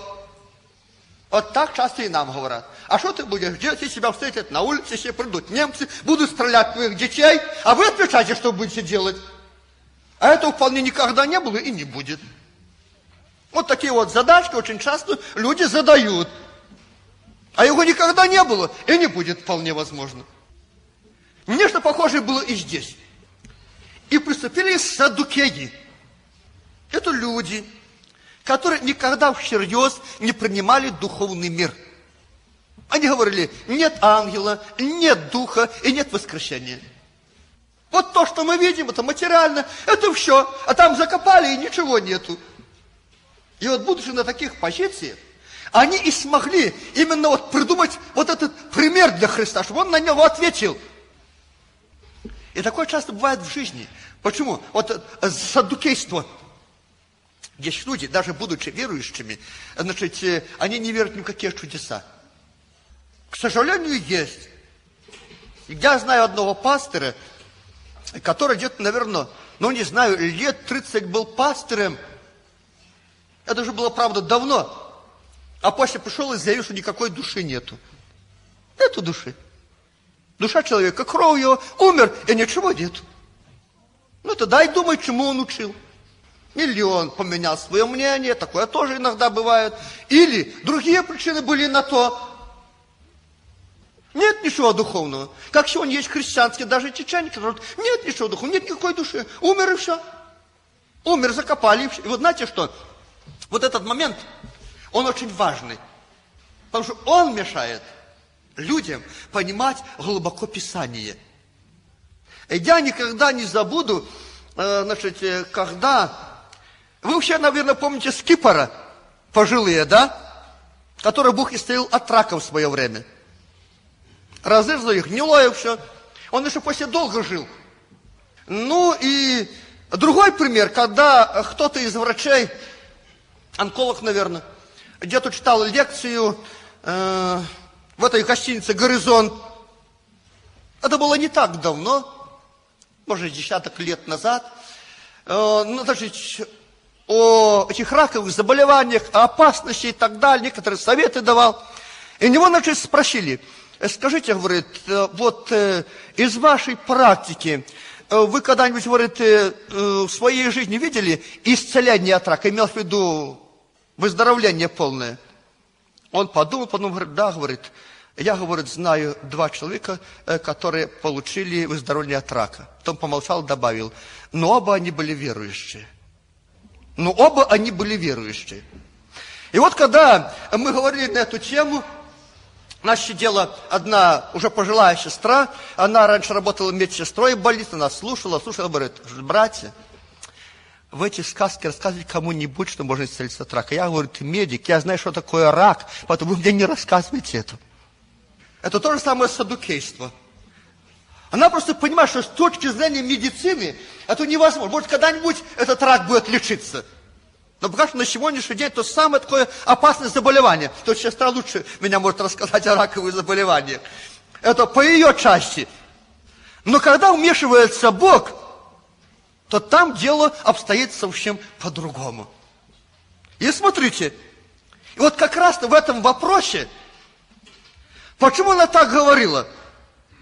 Во-первых, конечно, она была, ну я бы сказал, ну если не новообращенная, то недавно верующая. Иисус ответит на это, почему люди так не могут верить. Он сказал так, слушайте, Иисус сказал им ответ, заблуждаетесь. Первая причина, почему? не зная Писаний. Вторая причина – силы Божьей. А вот две причины, почему люди не могут поверить в чудеса. Первое, они не знают Писаний, которые рассказывают о множестве тех чудес, которые Господь делал. И второе, они недооценивают силу Божью. Вот почему часто верующих называют дурными. Вы понимаете? Может быть, иногда они бывают такие, когда они верят и сами не знают, чему верят. Я, наверное, вам рассказывал, когда кто-то из братьев молился за воскрешение мертвых. Под Слуцком было. Рассказывал, да? Когда молился, молился, а он не устает. Собрались соседи, собрались люди. Во имя Иисуса встань, он не встает. Он тогда говорит, во имя Иисуса вставай. Ну, говорит, ну как хочешь, я тебе повелевал стать, не хочешь, лежи до первого воскрешения. То, может, надо и посмеяться в этом случае. Но когда человек в самом деле имел откровение, имел слово от Господа, то никогда не останется в постижении. Если даже по-человечески, это глупо. Вы думаете, когда Авраам сто лет заявил, э, что у него будет сын, ну, думай, сказали, Авраам сдетинил. Знаешь, что такое сдетинил? Это когда прожил свою жизнь и стал детский разум. Вот Саре 90 лет, ему 100 лет объявляя, у Сары будет сын. Ну как тут не смеяться? Тут смеяться и больше ничего. Но там было дело связано с Богом. Не желанием лично Авраама, Не потому, что они очень хотели, и их это желание выдавали за веру. Ему Бог сказал, что будет сын. И только тогда перестали смеяться, когда у него родился сын. Ему дали имя Шмех, но же Сара сказала, Шмех, говорит, сделал мне Бог. Каждый, кто не услышит, что Сара в 90 лет родила сына, говорит, смеяться будет. И назвали его Шмех, Исаак, или дословно, он будет смеяться. То есть сначала вы смеетесь, но он будет смеяться, в конце концов. И такой была его жизнь. Поэтому Павел однажды говорил так. Мы, говорит, безумны Христа ради. С некоторой точки зрения, по человеческому рассмотрению, они делали большие глупости. Их там побили, а они пошли там проповедовать. Там ведь себя бьют и гонят, убегать надо. А они лезли в пекло. Потом говорят, мы безумны, зато вы сегодня мудры во Христе. Мы были безумны, рискнули вам проповедовать, вы покаялись, вы стали мудры во Христе. А мы были безумные Христа ради. Ну идти, допустим, тогда к Кесару или э, в Рим, и там ему проповедовать. Когда у них этих богов не сосчитать было. Когда они владели этой огромной территорией. Да что говорить о воскрешении? А Павел говорил, и Фес сказал ему, помните, что Фес сказал Павлу? Безумствуешь ты, Павел, большая ученость, давай тебя до сумасшествия. Что может быть резче? И что может быть точнее? Как можно точнее выразить взгляд мира на христианство? И Павел сказал, кто хочет быть мудрым, тот будь каким? Тот быть безумным. Потому что, да, вера, она простирается выше возможностей человеческих, и в силу этого, да, можно иногда и покачать вот так вот головой. И только тогда можно успокоиться, э, когда уже действительно получает человек. А то, да, по-человечески, это глупость. Многие вопросы, погляди их глазами человеческими, на уровне знаний на уровне наших возможностей, можно так и сказать. Не забивай себе голову и никого не обманывай. Но если Бог делает свое дело, если его определение исполняется, тогда все восстанавливается и ставится на свое место. Не знаете Писаний, ни силы Божьей. Второй момент, который я обращаю внимание – на вторую половину вот этого текста, не зная Писаний, не силы Божьей. Очень важно знать силу Божью. И не понаслышке самому лично. Вы знаете почему? Дьявол неплохо знает Писание. Он может подделать голос. Он может, если он является в видении, может подделать, вы не различите его. Но силу Божию, действие Духа Святого подделать нельзя. И тот, кто однажды исполнялся Духом Святым и знает, как он действует, вы никогда его не собьете с пути. Если даже дьявол будет говорить по Писанию, а он не такой глупый, как мы часто думаем. Сегодня наши братья-харизматы пишут на подошве сатана дурак и прыгают. Как будто в самом деле он уже такой дурак. Это был помазанный Херувим. И мудрость его вся обратилась во зло. И если бы не Бог, то мы давно были бы в заблуждении. Но мы сегодня благодарим Бога, что Он очень внимательно наблюдает за нами. И вот знать надо и Писание, и силу Божию. Я помню, это было давно. У меня такие случаи были и недавно. Но я буду вспоминать случай далекий. Когда стали молиться, то некоторые принципы надо знать. Сестра начинает пророчествовать, исполняется Духом Святым. А у нее спрашиваем, а как ты исполняешь? Он говорит, а как ты исполняешься Духом? Как тебе начинает говорить? Когда с ног и идет вверх. О, с преисподней. И когда Дух Святой не исполняет с ног – вы поняли меня? Вот когда человек не знает таких деталей, очень легко и просто. Вы думаете, что дьявол не обличит во грехе? Да он все грехи твои знает, и прошлые, и настоящие. Мы то как часто говорим, рассказано, и это есть Бог. Смотря что. И какой осадок остается, и оттенок на сердце ляжет после этого слова.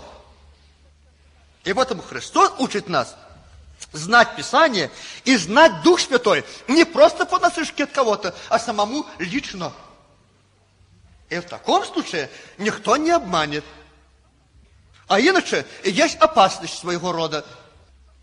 Конечно, об этом можно говорить немало, но я просто на эту деталь обращаю внимание. Почему заблуждаетесь? Христос дал прямой ответ.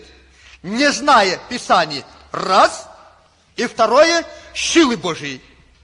И мы очень часто только потому заблуждаемся, что мы сравниваем силы Божьи со своими человеческими возможностями. Вот это Бог может сделать, а вот этого Бог не может сделать, потому что у нас есть стандарт свой. Вот это у нас укладывается в голове, а уже вот это не укладывается. Потому Христос неоднократно допускал бедствия у шесть учеников. Помните, по морю поплыли. Они уже видели немало. Но когда Иисус запретил ветром и морю делать тишина, то они сказали, кто же это? Хотя до этого они уже знали, что это Мессия, это Сын Божий. А когда они увидели то, что никогда не видели, о чем они не думали, что может такое быть, такая власть может быть, то они сказали, кто же это, что и ветер, и море повинуются ему. Вот до этого времени их стандарт для Христа был гораздо ниже, чем был на самом деле у него. Заблуждаетесь, не зная Писаний и силы Божьей. Ибо в воскресении не женятся, не выходят замуж, но пребывают, как ангелы Божии на небесах. То есть там другой мир, другая э, значит, сфера жизни совсем, немножко другие отношения. Единственное, что мы знаем, что там царствует любовь. И в Писании. А то, что у нас на земле здесь происходит, э, то там этого уже нет. Не женятся, ни замуж не выходят, но пребывают, как ангелы Божии на небесах. А воскрешение мертвых не читали ли вы, реченного вам Богом? И вот какое место Писания Иисус взял за основание, чтобы сказать, что есть воскрешение мертвых. Наверное, еще сегодня. Вот не было этих слов Христа. И кто-то из нас взял эту место, сказал, это воскрешение мертвых написано, то сказали бы, ну, слушай, как ты это выкопал, правда? Христос очень хорошо знал Писание. И взял это место и говорит так – а воскресение мертвых не читали ли вы, реченного вам Богом? И я Бог Авраама, и Бог Исаака, и Бог Якова. А Бог не есть Бог мертвых, но живых. Другой человек говорит так, ибо у него все живы. Вы помните? Ибо у него все живы. Вот почему однажды Христос сказал ученикам своим, Лазарь не умер, но спит. Ему сказали, ну, раз спит, то выздоровеет. А он говорил не о необыкновенном, а о смерти. Поэтому вот то состояние, что для нас является смертью, для Бога это всего лишь сон. Потому что он имеет полное право возвратить дух человека в его тело. Что такое смерть? это разделение тела с духом. Если будет время, будем читать других евангелистов, то там написано о девочке умершей. Иисус повелел ей воскрес, и написано, и говорит, и дух ее возвратился в нее. И она ожила. Поэтому для Иисуса, а дух он никогда не умирает. Духа невозможно умертвить. И второй смертью называется просто разделение с Богом, мучение.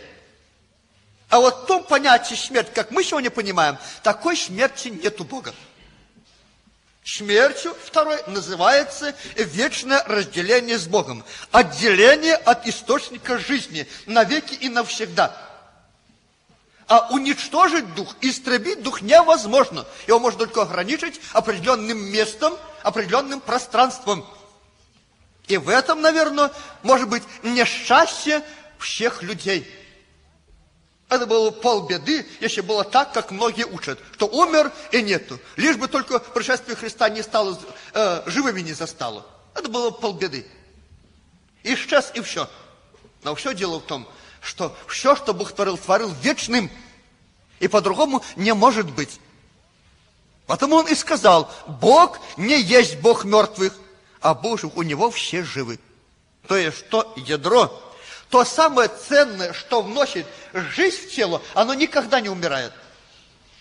И наше тело только потому перестает жить, что уходит дух, который живит его. Это нечто похожее на нашу одежду. Вот покуда нам не вот эта одежда, она вместе со мной ходит, движется. Я ее сбросил, она будет лежать неподвижно. То же самое является и тело наше. Оно называется храминой. Можем назвать его инструментом, которым дух пользуется для жизни в физическом мире. И всего лишь. А ядром нашей жизни, центром нашей жизни, ценностью для Господа является не тело наше, а наш дух, который Бог дунул и называет наше дыханием жизни и так далее. Потому Иисус и сказал, у Него все живы.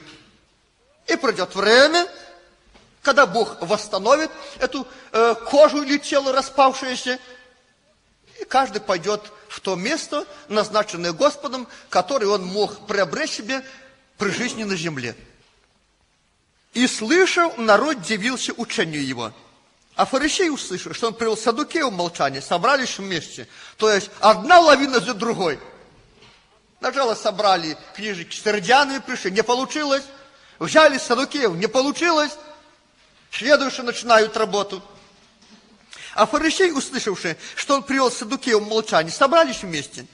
И один из них, законник, искушая его, спросил, говоря, «Учитель, какая наибольшая заповедь в законе?» Иисус сказал ему, «Возлюби Господа Бога твоего всем сердцем твоим, и всей душою твоею, и всем разумением твоим, Сия есть первая и наибольшая заповедь. Вторая же, подобная ей, возлюби ближнего твоего, как самого себя. На сих двух заповедях утверждается весь закон и пророки. На этих двух заповедях, возлюби Господа и ближнего, как самого себя, утверждается весь закон и пророки – и эти 10 заповедей, и те 200 или 300 с чем-то постановлений, все они расшифровывали, как надо любить Бога и как надо любить людей.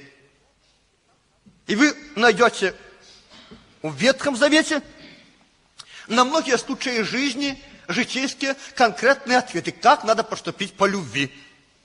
Помните, если один вол забодает другого вола, живого вола продайте – Мертвого разделите пополам, мясо съешьте. Это будет по любви. Вот вплоть до таких мелочей Бог расшифровал, как надо поступать по любви. Это было во время Ветхого Завета. Сейчас немножко другое. Но самое главное, весь закон, все пророки учили, как надо любить Бога и как надо любить людей. Но первое стоит, возлюби Господа Бога, а потом ближнего. Иначе, если у тебя не будет источника любви от Господа, ты просто-напросто не сумеешь любить своего ближнего. Потому что у тебя, как у человека, ограниченный потенциал для того, чтобы любить. Тебя просто не хватит той любви. И первое, возлюби Господа. И на что надо обратить внимание? Я уже не обращаю внимания на искушение. Возлюби Господа Бога твоего – всем сердцем твоим, и всею душою твоею, и всем разумением твоим. И если не будет всем возлюбить, невозможно будет любить как надо. Всем разумением. И если здесь есть вот такая расстановка, всем сердцем, всей душой и всем разумением, то однако, когда будем исследовать Писание – то сначала все начинается с нашего разума. Все начинается с нашего разума. Вот почему первое, что делает Бог? Он засевает наш разум Словом Божиим. Чтобы мы знали, как нам надо любить. И разум всегда идет впереди. Это будет старая мысль. Я ее не один раз повторял. Один псалом мы поем. Прости, что мой разум с тобой воевал, да? И покуда вы в разуме не поняли, что без Бога вы не сможете жить, вы не смогли сделать другой шаг решительный. Все начинается с нашей головы. И это очень важно. И всякий грех, всякое дело, оно, как правило, начинается с мыслей. Мы сначала принимаем, потом обдумываем, а потом уже делаем. И движущей силой является мысль, которая проникает. Это старая мысль, я еще раз ее повторяю, но она очень важная. В организме человека, я имею в виду не в физическом, а вообще в полном смысле, есть такой центр, откуда управление идет. И Павел говорит так, Слово Божие проникает до разделения души и духа, составов и мозгов. Вот есть некий центр, куда направляется Слово через разум. И когда оно поселяется в это место – управляющий центр, мы начинаем двигаться по этой мысли. Мысль имеет огромную силу. Это самое сильное оружие мысли. Поэтому их надо контролировать, эти мысли. Все начинается с мыслей. Я повторюсь то, что не один раз повторял. Самые большие проблемы в народе, самые большие кровопролитные войны, они начинались с мыслей. Они начинались с мыслей. Они проигрывались в головах людей высокопоставленных. И только после все проводилось движение. Но движущей силой была мысль. И если мысль дьявола имеет большую силу, то мысль Господа имеет огромную силу. И самое сильное оружие – это Слово Божие. Самое сильное оружие – это Слово Божие. Оно сегодня движет всем – и мы тоже движемся. Для чего мы сегодня слушаем это? Мы хотим взять Божьи мысли, положить в центр нашего управления, профильтровавший через наш разум. Если мы его примем разом, мы ему доверимся, оно направляется в сердце, мы начинаем жить э, так, как написано. Но если мы только посмотрели разумом, но не приняли верой, доверием, оно будет в нашей голове, что мы слышали, но я этому не верю, я этому не могу поверить. Это не так. Оно никакого действия не произведет. Вы не сможете жить по этому слову. Всем разумением. Апостол Павел, послание к римлянам, он сказал так. И как они не стремились иметь Бога где? В разуме, то и предал их Бог превратному уму делать непотребство. Так что они исполнены всякого, всякого, всякого, всякого там. Там очень огромная цепочка перечислений грехов. Почему? Не стремились иметь Бога в разуме. Поэтому это очень серьезный вопрос. Возлюби Господа Бога твоего, я начинаю всем разумением, всей душой твоею. Здесь душа имеется в виду жизнь. Вы знаете, любим мы Бога или не любим, мы это показываем своими поступками, которые мы совершаем в нашей жизни. Не словами, Хотя слово это тоже дело. Вот я сегодня, как вы не хотите, но я работаю. Но вы поняли меня? Может быть, я работаю не руками, но я работаю. Для вас это одно положение, для меня другое, я работаю. Это работа. Уже как я работаю? Толково, без толково, это другой вопрос, но я работаю. И в жизни вот эта любовь к Богу и к людям, она выражается в действиях, в поступках. Не только в желаниях. Желаний может быть много, но вот надо любить его всем разумением и всей душою. И что есть такое выражение? И всей крепостью и сердцем. А сердце – это совокупность мыслей, мыслей, чувств и так далее, и так далее. Об этом я, может, кто-то догматику будет читать. Читали у вас догматику уже? Или не читали? Кто студенты здесь? Читали. Все-таки интересно, кто студенты, а кто студенты? Руки поднимите. О, как отсели студенты. Мало, совсем мало. Где-то было 60 с чем-то. А? Заочники, да. Заочники могут знать больше, чем студенты, но тем не менее, все-таки это организовывалось для студентов. А для тех, покуда дойдем до конца, то сдавать некому будет поэтапно. Но я думаю, все равно польза какая-то будет. Сдадите, не сдадите, но тем не менее, Вторая же подобная ей. Возлюби ближнего твоего, как самого себя. Но то опять-таки, вот это, как самого себя, оно относится к Ветхому Завету. Это очень близко к тому желанию Господню. Это говорится для людей Ветхого Завета. Мы сегодня говорим, что надо любить любовью Господней. Вы все хорошо знаете, что в вашей жизни были такие моменты, когда вы не любили сами себя. Было такое? Поэтому во время благодати мы уже сегодня не можем так говорить, как самого себя – а люблю любовью Господь, который всегда любит. Потому что бывают моменты, может быть, иногда неплохо не любить самого себя, но мы не имеем права это правило распространять на кого-то. Хотя, если бы даже мы так смогли любить, то уже хорошо было бы. Но, к сожалению, наверное, мы даже до этого стандарта не дотягиваем. Наверное, не дотягиваем. Может быть и так. Может, дотянули, но слава Богу. Да и вообще, если взять, то мы очень много делаем сегодня по закону. Согласитесь? Знаем, что надо, потому делаем. Не потому, что нам хочется так делать.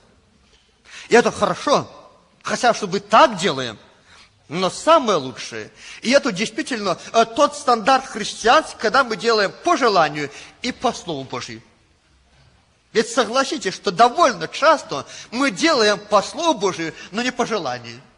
Правда, Миша? Ну так хочется съездить, да? Но нельзя. Растем потихоньку, шлифуемся.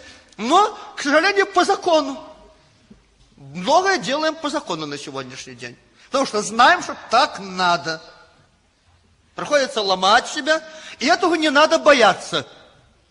Не надо бояться. Вы знаете почему? Потому что Э, как бы вы ни говорили, но, наверное, самый первый ваш приход в молитвенный дом был не по желанию, а по плоти, правда?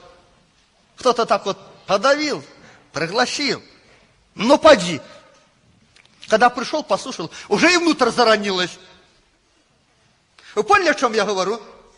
Сегодня есть, значит, такое мнение, э, которое не соответствует евангельскому учению что если человек где-то поступать не так, как надо, не надо его заставлять, пусть делает, сам дойдет. Библия так не говорит. Она говорит, наставляй, вразумляй, запрещай, увещевай. Сегодня запретишь, будет под законом, а завтра проникнет в сердце. Протолкнешь туда его. И потом будет хорошо. И опять повторяю, что довольно многие пришли в первый раз по плоти. Как будто затянули сюда. То из э, уважения к маме, к соседу, много раз обещал и не приходил, надо же как-то выглядеть более благородным. И так вот пришел по каким-то давлением. А после послушал, и оно проникло в сердце. Если бы кто-то не настал, не заталкивал поди, то не пришел бы. Вы поняли меня, о чем я веду речь? Поэтому вот это э, не надо говорить, не надо запрещать, это не Евангелие. Да, я понимаю, что когда это делается под нажимом, это не совсем приятно. Гораздо лучше, чтобы это делалось от сердца. А что делать, если это сердце э, не позволяет так? А другие люди смотрят. Этого Павел не ошибся, когда советовал Тимофею, настой вовремя и не вовремя. Вразумляй, запрещай, увещевай и так далее. Только уже путать не надо, что где, где надо увещевать, там запрещать. Так у нас иногда бывает. Это уже другой вопрос. Но все эти советы, это советы Слова Божьего. И если сегодня кто-то учит не так, как написано, то это уже не Евангелие.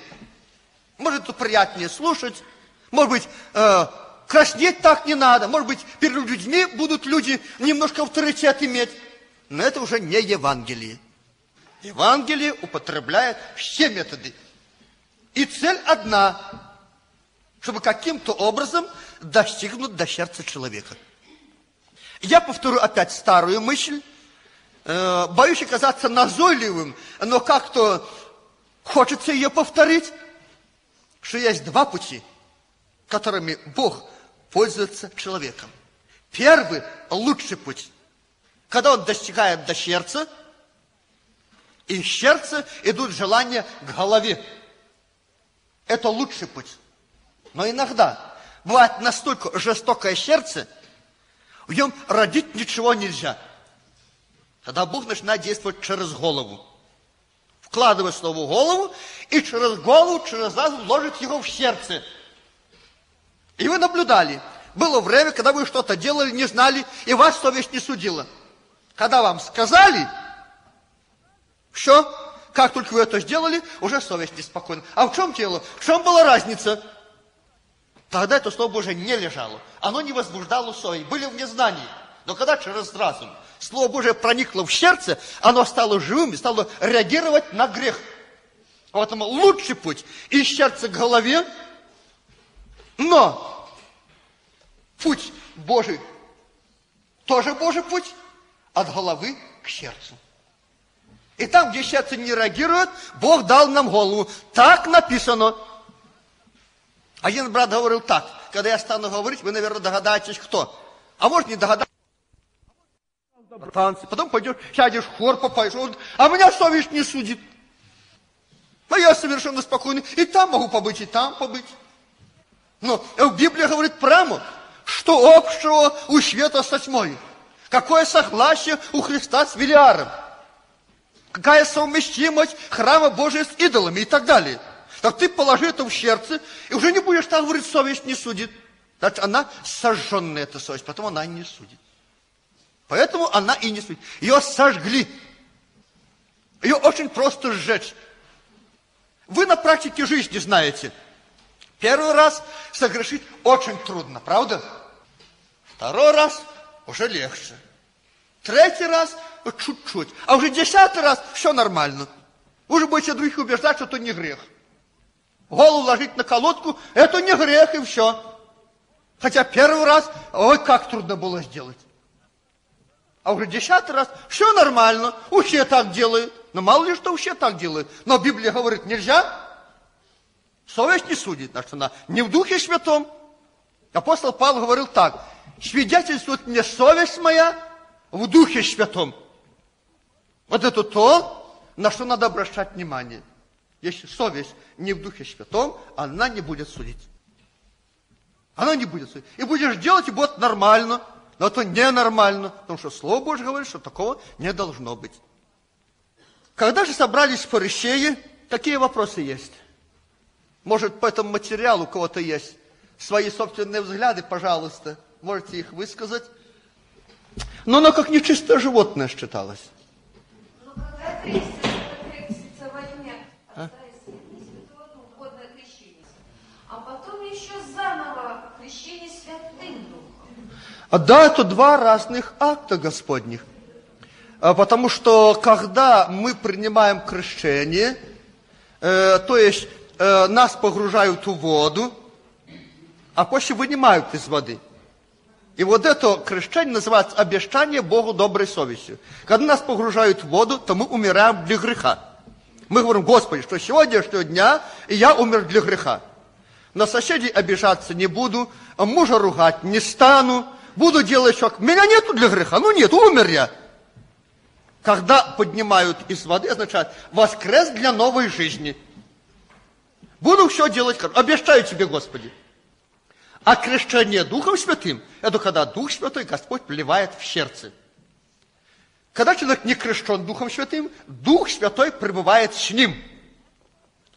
И так бывает со всяким рожденным от Духа. Вы помните, как бывает со всяким рожденным от Духа? Дух дышит, где хочет. И голос его слышишь, а не знаешь, откуда приходит и что? И куда уходит. Так бывает со всяким рожденным от Духа. А когда крещен Духом Святым, он никуда не уходит и не приходит, он живет. И в этом есть разница. Поэтому крещение водное и крещение духовное – это два разных переживания, и они, значит, имеют большое значение.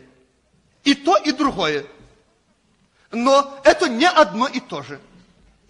И Библия говорит прямо, что все вы одним духом крестились в одно тело, и все напоены одним духом. Иудеи или гелены и так далее, и так далее.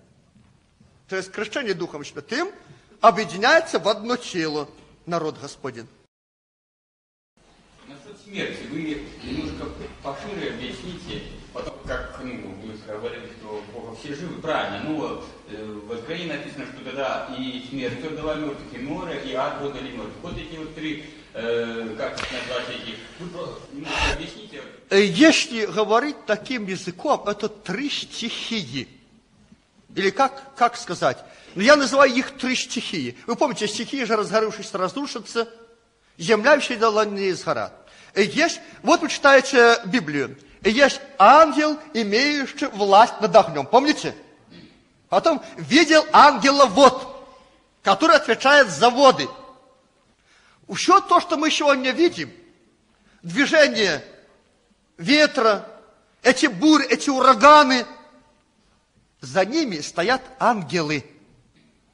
Вы помните, о Египте написано, послал на него ярость и бедствие, посольство злых ангелов. Материя сама по себе, она не движется. И вот каждой этой стихии есть ангел свой. Вы помните, э, значит, был ангел, откровение описан, который имеет власть над адом. Есть ангел вот. И есть смерть естественная. Вы поняли меня? И есть очень много людей, которые погибли в водах моря. Их там тела остались. Они принадлежат тому ангелу, который командует, ну, всеми водами, я так называю, ну, как по-другому назвать? Самоубийцы – это жертвы ада. Ад отдал мертвых. Хотя все мертвые духи и естественной смерти умершие. И в водах они все направляются, если не верующие, в преисподние места земли. Но есть непосредственно жертва ада. Он должен жить, он покончит жизнь самоубийством. Это сделал дух самоубийства. Вы меня понимаете, о чем я веду речь? Одни погибли в море, другие стали жертвой ада. Демоны прорвали жизнь раньше времени. Это жертва ада. И естественной смертью умерли. Поэтому все вот эти стихии, они отдадут своих мертвых. Вы помните, что во время Кореи, Дафана и Верона были люди, которые живыми сошли в преисподнюю, когда земля разверзлась. Это были жертвы ада. Только я просто боюсь вас запутать. Вот, допустим, все смерти, которые совершаются, это результат действия дьявола. Но когда человек кончает жизнь самоубийством, это только демонический мир замешан напрямую. Если он доживает все свои дни, это нормальное явление. Вы хорошо должны понять, и это очень важно, э, понимать это правильно, э, что Иисус взял на себя наши грехи и преступления. Он искупил наш дух. Но наше тело до сегодняшнего дня, оно стареет, разлагается. Вы понимаете?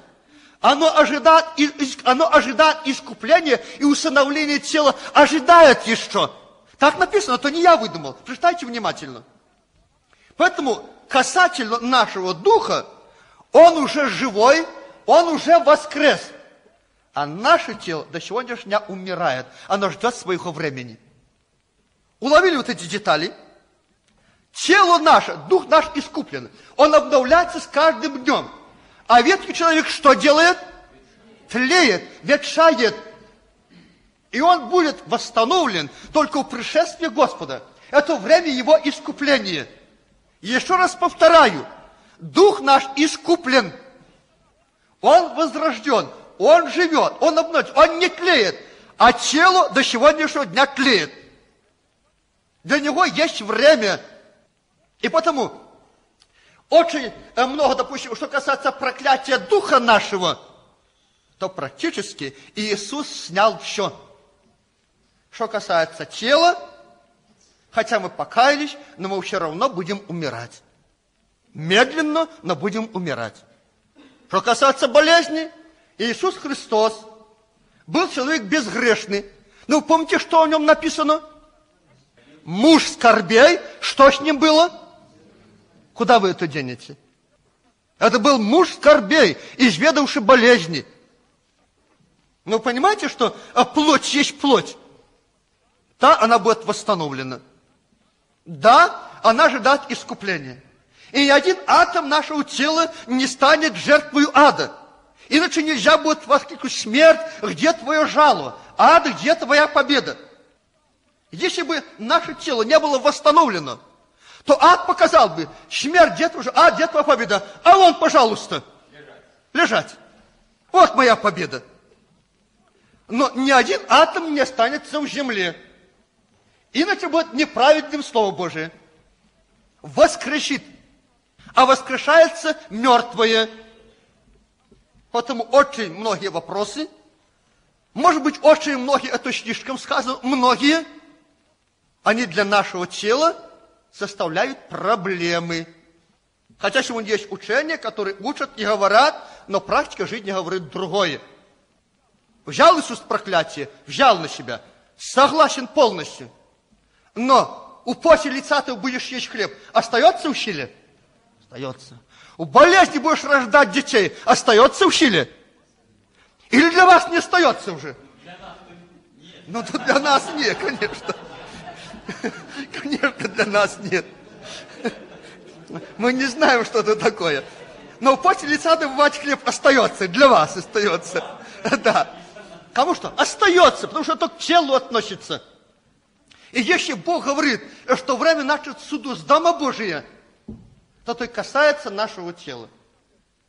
Когда мы по хлебопроломлении читаем, предупреждаем друг друга, чтобы участвовали в хлебопроломлении достойно.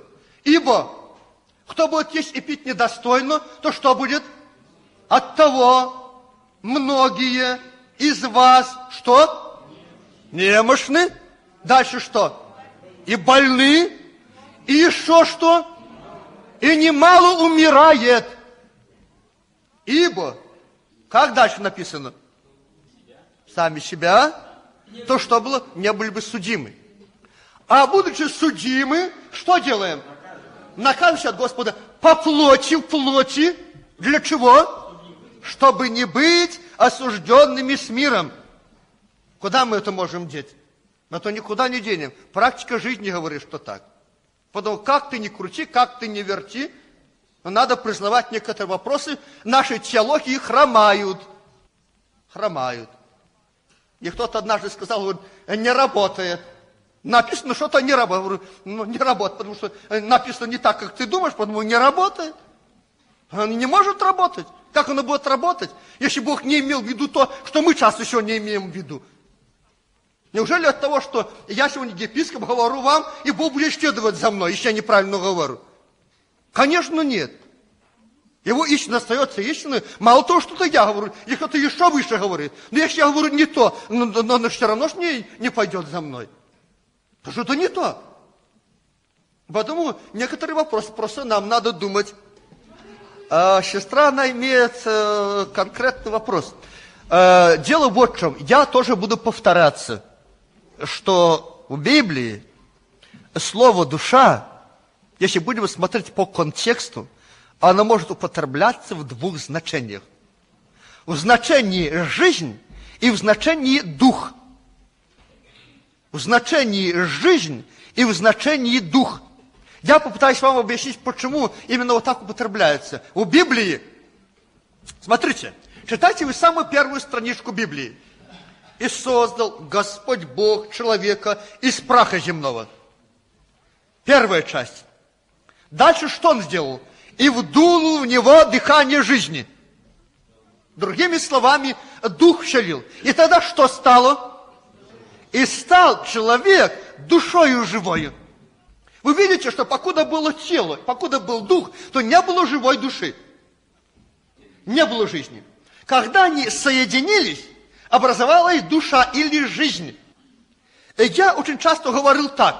Вот если, правда, у меня слишком э, тяжелая Библия. Вот если вот эта кафедра, это тело, а вот это дух, то звук – это душа. Вы поняли меня? Жизнь. в движении. Когда они собрались вместе, звук произошел. Поэтому, э, если мы вот с этой точки зрения смотрим, то когда разделяется тело с духом, то душа исчезает, как жизнь. И вы помните, когда Христос умер на Голгофском кресте, что произошло? Он предал, что на смерть? Ну, смело-смело говорите. За то, что предал душу свою на смерть. А дух куда делся? Отче, в руки твои предаю дух мой. Потому что дух не может умирать. Вы поняли разницу? Поэтому, когда стоит дух, душа и тело, то дух, понимается, это бессмертная частица, которая наследует вечность. А уже душа в таком контексте – жизнь, которая исчезает с разделением тела и духа. Но когда мы читаем Писание, и я увидел души убиенных под жертвенник, которые возопили, доколе, владыка святой истины, не судишь и не мстишь живущим на земле за кровь нашу. То есть здесь уже по словам душа понимается дух. Почему? Я вам объясню почему. Когда Бог вложил э, в нас дух при зачатии, это был э, неразвитый дух. Это было начало. А в процессе жизни он постигал истины Господни.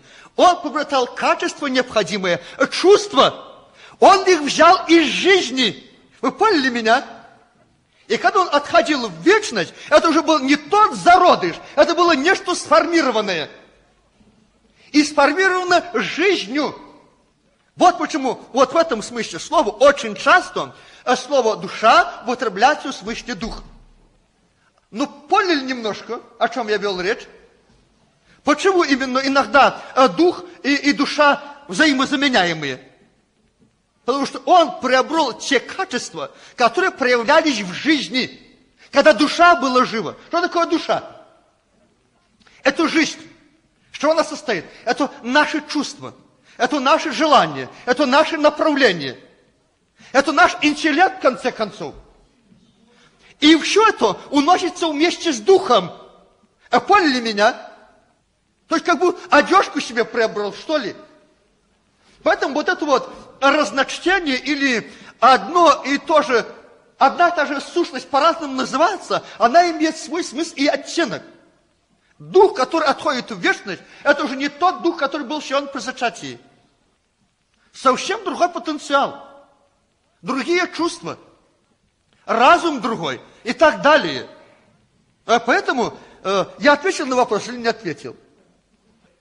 Духи, духи, если правильно говорить, бессмертные частицы, значит, у неверующих людей они идут в ад. Ад – это темница для духов, для демонов, для падших ангелов.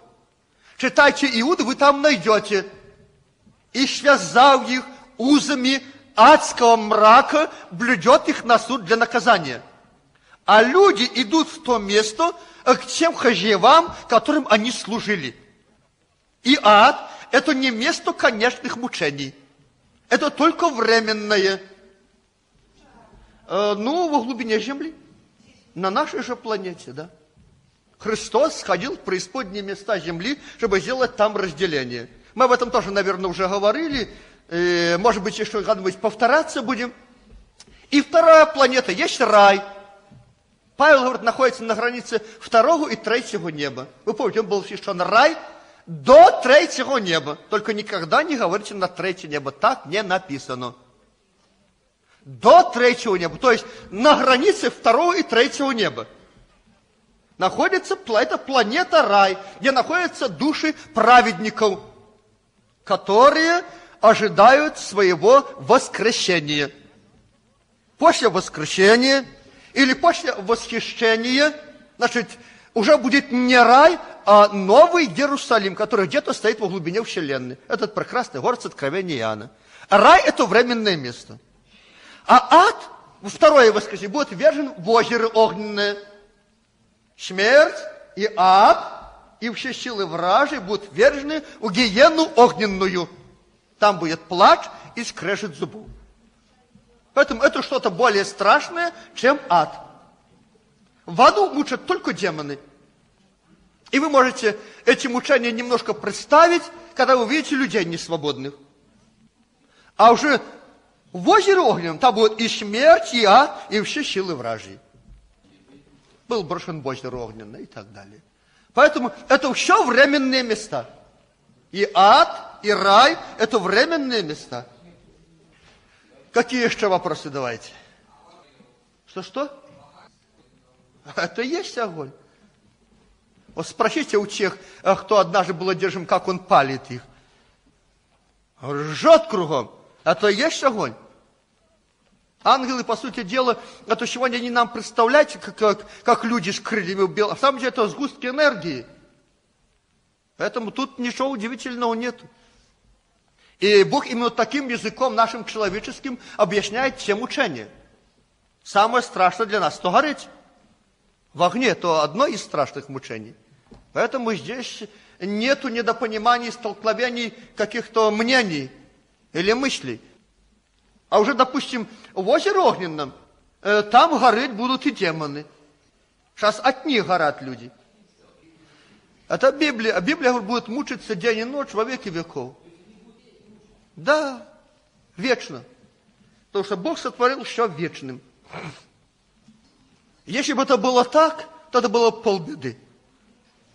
Погорели бы, да и все. Но все дело в том, что это не так. И я вам объяснял, почему. Что дух нельзя уничтожить. Он не уничтожается. Его можно только связать и ограничить действие, заключить где-то. Материя распадается, и то не совсем. А дух, да, разное. Каждому будет по заслугам. Но это уже такой вопрос, э, его вам никто не объяснит, как это будет. Это мы знаем поверхностно довольно, знаем, что будет, а как будет, ну, знаете. Это вопрос такой, на котором мы, а что вы думаете, э, если человек бездейственный лежит, как колода, ему это приятно? Я думаю, если Бог назначил такое время, одно мгновение, один удар и на небе, что тут страшного? Ну да, ну да, ну, конечно. Поэтому здесь, здесь вопросы не всегда так и не всегда так умирали. Хотя, допустим, у каждого Бог что-то предназначил, есть вполне определение, почему Он так делает. Поэтому, откуда вы знаете, почему? А вдруг это действительно, это э, подделка тех же самых людей, это есть смерть за Христа, откуда вы знаете? Павла отрубили на плахе голову, а кому-то подстроили аварию и погиб. Но мы же не знаем, что получается. И дьявол этим занимается, чтобы погубить. Поэтому здесь так судить нельзя. И я нисколько не сомневаюсь. Э, и свидетельство прошлого, что очень многие наши братья погибли в авариях, которые были подстроены. И что вы будете думать? Какая тогда разница, что один в тюрьме погиб, а другого так уничтожили? Это те мученики, которые свою кровь пролили за Христа. Поэтому э, здесь уже рассуждать мы просто-напросто не можем. Просто глупо рассуждать над тем, чего не знаешь. Как Бог допустил, так и есть. Хозяин знает, что делает. Поэтому мы еще не можем рассуждать, что это наказание, у Бога по-другому смотрит, потому что знает, откуда все это произошло. Это нечто похожее было с Иовом. Пришли, увидели, и давай выдумывать почему. Ты такой, да ты такой, да ты такой, и ты такой. Оказалось, там было все совсем по-другому. Пришел дьявол, да давай клеветать. Отними, посмотрим. Ну, отними, посмотрим. А если поражу? Ну, поражи, посмотрим. Вот и все было. А друзья, когда пришли, так они стали придумывать, и они говорили на собственном опыте, что они видели. Этот опыт не распространялся на Иова. Поэтому здесь просто... И, и, и слишком разумные люди говорят, или слишком глупые. То одно из двух.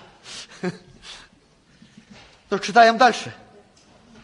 Когда же собрались фарисеи, Иисус спросил их, что вы думаете о Христе? Чей он сын? А врат ему Давидов. Говорит им, а как же Давид называет его Господом, когда говорит, сказал Господь Господу моему, щади, одестуй меня, доколе положу врагов твоих под ножие ног твоих. И так еще Давид называет его Господом. Как же он сын ему? И никто не мог отвечать ему ни слова. И с того дня никто уже не смел спрашивать его. То есть здесь Иисус указывал на свою э, природу божественного происхождения и по плоти от сына Давидова. И еще раз показал им, что он прекрасно знает Писание, они его не поймают. Потому здесь написано, и никто не мог отвечать ему ни слова. И с того времени никто уже не смел спрашивать его. То есть Иисус подчеркнул в этом месте Писания ту очень важную деталь, на которую фарисеи не обращали внимания. Они обращали внимание на плоскую сторону, а то, что Давид называет Господом, они не обращали, он им показал, да они посмотрели, правда? И поняли, что с ним говорить бесполезно, его не поймаешь на слове. 23 э, глава. Тогда Иисус начал говорить народу и ученикам своим и сказал, на Моисеевом седалище сели книжники фарисеи. Итак, все, что они велят вам соблюдать, соблюдайте и делайте. По делам же их не поступайте, ибо они говорят и не делают. Связывают бремена тяжелые и неудобно носимые, и возлагают на плеча людям, а сами не хотят и перстом двинуть их. Все же дела свои делают тем, что видели их люди. Расширяют хранилище, это повязки на лбу и на руках со словами из закона. И увеличивают воскрылие одежд своих. Э, также любят предвозлежание на пиршествах и председание в синагогах, и приветствие в народных собраниях, и чтобы люди звали их учитель, учитель. То есть вот здесь вот Иисус Христос говорил о тех предстоятелях народа, которые должны были истину говорить народу, которые заняли место учителей, но учили не тому, чему надо. Они, говорят, связывают бремена тяжелые, неудобно носимые. И их людям возлагают на плечи. И что самое страшное? А сами, говорят, и перстом не хотят двинуть, чтобы исполнить. Поэтому, что они вам говорят делать, делайте, но по делам их не поступайте ибо они говорят и не делают. Вы знаете, вот это говорят и не делают, не относится к тем людям, которые хотят делать, но не могут пока. Это люди сознательно, накладывающие бремена на других людей, а сами даже не желающие и перстом двинуть. Вот же вот на этом тексте очень часто дьявол ловит верующих. Не секрет, что многие из нас Говорят, но что? Не потому, что не хотят, не могут. Они стараются, но не могут. И это неравнозначно вот этому тексту, который здесь написан. Они говорят, не хотят. Одно дело не могу, а другое не хочу. Вы, наверное, разницу видите большую. Не могу и не хочу. Это не одно и то же хотя результат внешний может быть совершенно одинаковым. Но при рассмотрении Божьем а Бог не одинаково рассудит о людях. Что не хочу и что не могу. У нас всегда разум идет впереди наших возможностей. И бывает так, как в башне. Э, око видит, а зуб не имет. Но такое часто бывает разумом человек понимает, а на практике жизни, но просто не способен на это. Потому что узнать проще, сделать гораздо труднее. Знать, как надо поступать, одно, а поступать как надо, другое. Это не одно и то же. Хотя вся цель Божьей работы над нами не только научить нас, как поступать, но и сделать нас способными поступать. А это делается во времени и при определенных действиях Божьих в отношении нас. Нетерпеливы, даже Бог будет учить терпению через скорби и трудности. Обидчивы будут обижать до тех пор, покуда не перестанешь обижаться. А говорят, клин клином вышибают, да? Потому что если человека огородить со всех сторон – и не дать возможности другому коснуться его больного места, он, во-первых, знать не будет себе, что он такой, и, во-вторых, он никогда не отшлифуется. Поэтому в нашей жизни Очень часто э, Бог предоставляет право кому-то надавить на наше больное место. И тогда бывает так. Или ты исправишься, или ты рассыплешься. Одно из двух. А так просто не может быть. Итак, все, что не велят вам соблюдать, соблюдайте и делайте. По делам же их не поступайте, ибо они говорят и не делают. Поэтому вот этот текст очень хороший, дает нам предупреждение. Мы часто говорим так, а я его слухать не буду. Он читая, а не делая. Бывает такое, да? Особенно, если нам что-нибудь не нравится. Это его дело не делать. Это неправильные поступки. Так не должно быть. Потому что тот, кто читает, первый должен исполнять. Но бывает, что не исполняет. Поэтому наше дело исполнять и слушать. А по делам не поступать. Видите, что я неправильно поступаю? Имеете полное право не поступать так. Но я все читаю из Библии. Прежде всего, я себя буду судить. Ну и вы никуда не денетесь, слышали? Уже не скажете, что мы не знали. Или, а вот он не делал. Не делал, не могу, не делай. Но оно написано для всех. Потому Христос здесь конкретно и подчеркнул именно вот это положение, вот эту мысль. Что они говорят вам делать? Что? Не делайте, что они не делают. Делайте. Делайте. А по делам не поступайте. По делам не поступайте. И вот основное, такая болезнь. В то время было и в настоящее. Все же дела свои делают с тем, чтобы видели их люди, чтобы иметь авторитет в обществе. А в самом деле они бы с удовольствием не делали бы. Они хорошо знали, через что они могут иметь авторитет, хорошо знали, что людям нравится, через что можно в некоторой мере возвеличить себя, и они делали. Но Иисус видел причину, почему они так делали – и открыто раскрыл все это. Что-то они делают не из ревности по Боге, не потому, что они хотят исполнить волю Божию, а чтобы иметь авторитет у людей. Вот причина была. И она была раскрыта. Э, также любят предвозлежание на пиршествах и председания в синагогах, и приветствие в народных собраниях, и чтобы люди звали их учитель, учитель, а вы не называйте учителями, ибо один вас учитель Христос, все же вы братья – и отцом себе не называйте никого на земле, ибо один у вас Отец, который на небесах. И не называйтесь наставниками, ибо один у вас наставник Христос. Больше из вас да будет вам слуга. Ибо кто возвышает себя, тот унижен будет, а кто унижает себя, тот возвысится.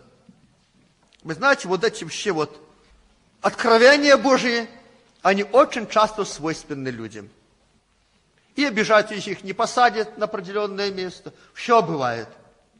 Потому что такие люди, я такие случаи знаю, тоже, когда очень обижались. Помню, один брат приехал, но уже в вечности, были хорошие братья, я его просто не вызвал. Знаете, сколько скандалов было? Ты что, меня не видел? Говорю, видел.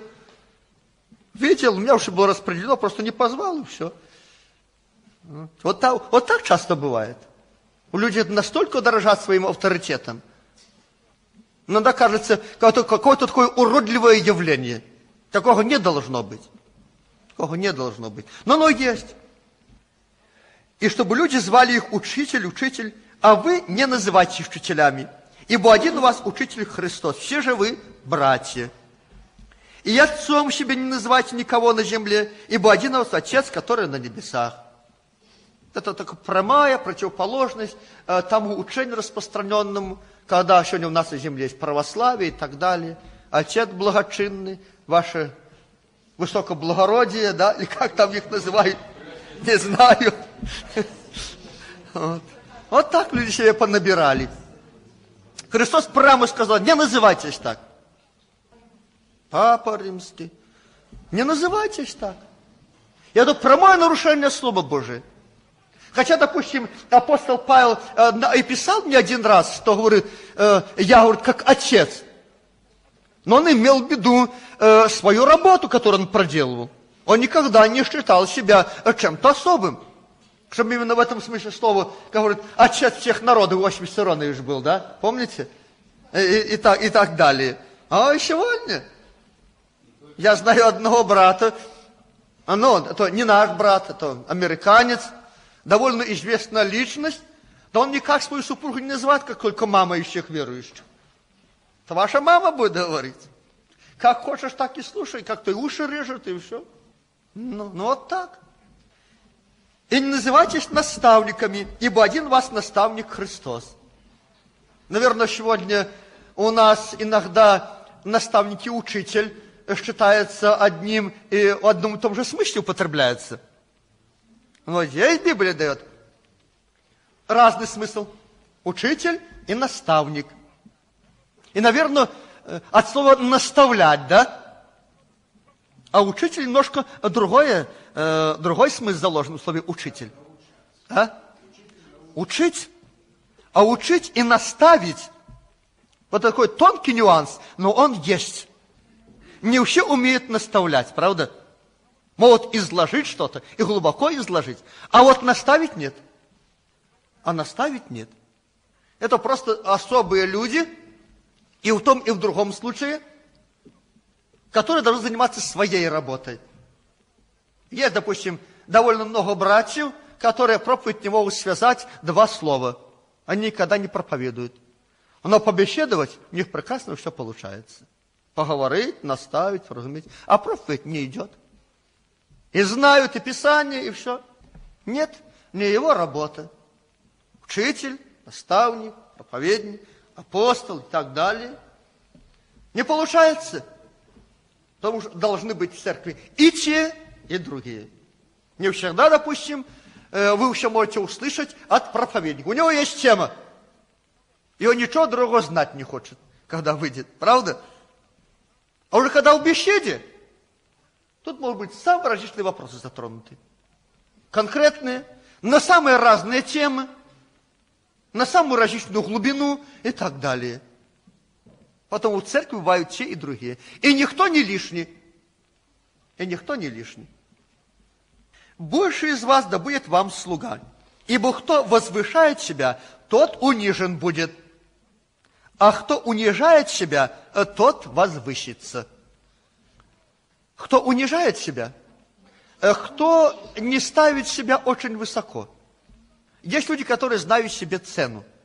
Он так о себе расскажет, что вы просто диву будете даваться, что за человек. А в самом деле, простой, обыкновенный человек. Есть люди, которые умеют говорить очень хорошо. И так что-нибудь выложит, кажется, ну, одни чудеса. Там, вот там просто родовое служение, да и все. Но они умеют рассказать. И вот тут одна деталь такая. Э, возвышает сам себя, но унижен-то будет Богом. И, это, это серьезные вещи. Когда-то один из братьев американцев рассказывал о другом американце. Я это тоже уже однажды рассказывал. Э, когда он, ну, наверное, все-таки был талантливый проповедник, наверное, ну, что-то было такое пастырское. Э, наверное, Библию знал неплохо. Вот у него было такое правило. Выходит, ну, это ж, конечно, я уже читал. И так каждый раз. И вот однажды, говорит, гуляли дети, а у них же Библии различных форматов бывают. Ну и жевательную резинку кто-то бросил Библию и склеил два листочка. И вот он выходит и опять повторяет. Ну это, конечно, я уже читал, вы уже это знаете. И читает. И, значит, о ковчеге. Но начал с того. Другая тема была. И пошел, и взял себе жену, перелистывая страничку. Длина ее 300 локтей, высота 150 локтей. Говорит, а вот это вот я еще не читал. А Бог умеет все поставить на место. А вы знаете, получилось разные склеенные листки, и он перелистывая, взял себе жену, а дальше про ковчег. И получилось, взял, говорит, себе жену, длина ее 300 локтей, высота ее столько-то, как трехэтажный дом жену взял, получилось. Пожалуйста, очень легко и просто все у Бога получается. И уже после этого он не говорил, что я это уже читал вам. Потому что однажды он прочитал такое, что никто не мог прочитать. Но он прочитал. Кто, говорит, возвышает себя, тот унижен будет. А кто унижает себя, тот возвысится. Горы вам, книжники и фарисеи, лицемеры, что затворяете Царство Небесное человеком, ибо сами не входите, и хотящих войти не допускаете. Вот смотрите, насколько важно было их учение и их поведение перед народом. Они не просто делали какой-то вред второстепенный, но самое, самое важное упускали. Они не вели в Царство Небесное. И не просто не вели, а мешали затвораете Царство Небесное человеком, ибо сами не уходите. Смотрите, это же страшное положение. Когда человек находится на служении перед Богом, когда его миссия заключается в том, чтобы вести к Богу, и он сам не уходит, и других не допускает, наверное, больше вреда трудно придумать. И это люди высокопоставленные были, которых была задача раскрыть чем пошире этот вход, доступным и сделать. Говорит, сами не уходите и других не допускаете. Но я нисколько не сомневаюсь, что они думали, что они находятся с головой в Царстве Небесном. Вот так часто бывает с людьми, которые попали в заблуждение. Скорее можно смутить того человека, который находится в спасении полностью, чем того, кто попал в заблуждение. Вы, наверное, это наблюдали. Скорее поколеблешь того, кто во спасении, чем тот, кто в заблуждении. Они никогда не сомневаются ни в чем. Вот так или не иначе. И вы знаете, почему? Я вам скажу одну такую истину, почему у них так получается. Э, почему я на это обращаю внимание? Я таких людей встречал. И не где-то в Америке здесь. И не так давно их голова стала их Богом. Их голова стала их Богом. Они говорят так, так написано. Но они не понимают, как написано. И когда Бог начинает им говорить об этой истине, что-то вот надо вот так, это, они говорят, это от дьявола, потому что так не написано, вот так написано. Вы поняли, о чем я веду речь? Это очень опасное положение – в таких случаях Богу очень трудно наставить такого человека. Потому что он думает, что он знает Писание, а он его не знает. И он берет этот аршин, меряет, и Бог говорит ему, а он не принимает. Я однажды столкнулся с таким явлением. Когда, значит, с одним из братьев ездил, после смотрю, я говорю одно, он говорит другое. И я ему сказал, слушай, или, или ты, говорю, молчи, или ты не едешь. Он очень сильно разобиделся. Там были вопросы о Духе Святом, такие распространенные, можно сказать, нестандартные и так далее. И когда, значит, э, он пошел домой, огорченный, конечно, и ему снится сон. Но слушайте только внимательно. Я ему как говорил? Я говорю, на нас же люди смотрят. И все-таки в конце концов, я буду последнюю точку ставить не ты, они тебя послушают, идут ко мне. А как это? И в конце концов, то мне приходится их опять переубеждать. Хочешь, говорю, без меня есть проповедуй, что ты хочешь, но когда ты едешь со мной, то будь добрый. Или молчи, или говори то, что я говорю. Знаете, особенно когда человек пожилой, то что, ой, им как не они же думают, что они все знают. То что меня будут учить, или меня остановили. Знаете, как для людей? Меня остановили. И вот он пришел домой, такой, значит, такой обиде, и вот ему снится сон. Он, значит, построил дом, крышу, и пришла правительственная комиссия принимать его дом. Вот этот э, из правительственной комиссии говорит, слушай, заделай вот эту дыру, которая у тебя стена провалена. Он глянул, правда стена провалена? Говоришь, люди ходят по улице, смотрят. Я тебе не могу принять твой дом немедленно заделывая эту пробоину. Он пошел, значит, одному брату рассказал, что вот так и так, вот я с Николаем поконфликтовал, и вот такой сон приснил. Говорит, да правильно он тебе говорил. Он для тебя правительственная комиссия. Он тебе говорил в собрании, на нас люди смотрят, ты одно, а я другое. Заделывай эту пробоину. Он говорит, это от сатаны. Я знаю Писание, и мне другого не надо. Ну, вы понимаете, такого все-таки и Бог не может поразуметь. Он не может, это от дьявола. Откуда, говорит, я знаю, кто-то говорил? Вот то, что написано, то я знаю, а кто-то говорил, не знаю. Это довольно опасное положение. Когда голова собственная становится на место Бога. И то, что Бог ему говорит, он эту сторону ставит. А что сам понимает, это правильно все. Поэтому, я же говорю, есть много таких интересных вопросов. И, наверное, по этой причине очень часто люди находятся в неведении. Ну, у него... Да, он знает себе цену, очень высоко себе мнит. Да. Никогда, всегда где-то один процент ставьте, э, что неправильно. Вы поняли, о чем я говорю? Если только вы уверены, Бог сказал, подтвердил, вы знаете, что Бог что не глухой Бог и, и не немой. Это другой вопрос. Но если вы что-то поняли, и вам кажется все равно где-то, а вдруг? Проверьте сотни раз. Получите подтверждение, и тогда будете стоять. А иначе не получится ничего. Иначе можно где-то упереться и проповедовать, настаивать, и сам не будешь знать, на чем настаиваешь. Это довольно серьезный вопрос, вопросы учения. Это очень серьезные вопросы. И вообще, допустим, проблемы, все отклонения, вот эта масса деноминаций христианских, это только потому, что кто-то не стоял на страже в свое время. Кто-то так понял, так научил, не посчитал нужным проверить и пустил в дело. И это были люди не из задних рядов, как мы сегодня говорим, это были люди, стоящие за кафедрой и выше еще. Поэтому э, вот этих вопросах, ну, наверное, э, тем, кто учит, надо стоять на стаже более, э, чем кому. Они уже давно ушли из жизни, а их ошибки повторяют, а их учение идет, а им наслаивается. А когда-то же придется рассчитываться за это все. Поэтому горе вам, книжники и фарисеи, лицемеры, что поедаете дамы вдов и лицемерно долго молитесь, зато примете тем больше осуждений. Смотрите, даже молиться можно долго лицемерно. Но я думаю, у себя дома в закрытой комнате не будете лицемерно молиться долго. В собрании, да, можно. Но дома никогда. Никогда не будете лицемерно молиться закрыть, чтобы никто не видел и долго молиться.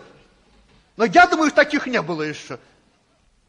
Поэтому вот Христос здесь предупредил. Оказывается, лицемерно все можно делать. И даже молиться можно лицемерно. Дома нет, я думаю, что... А, и долго, да.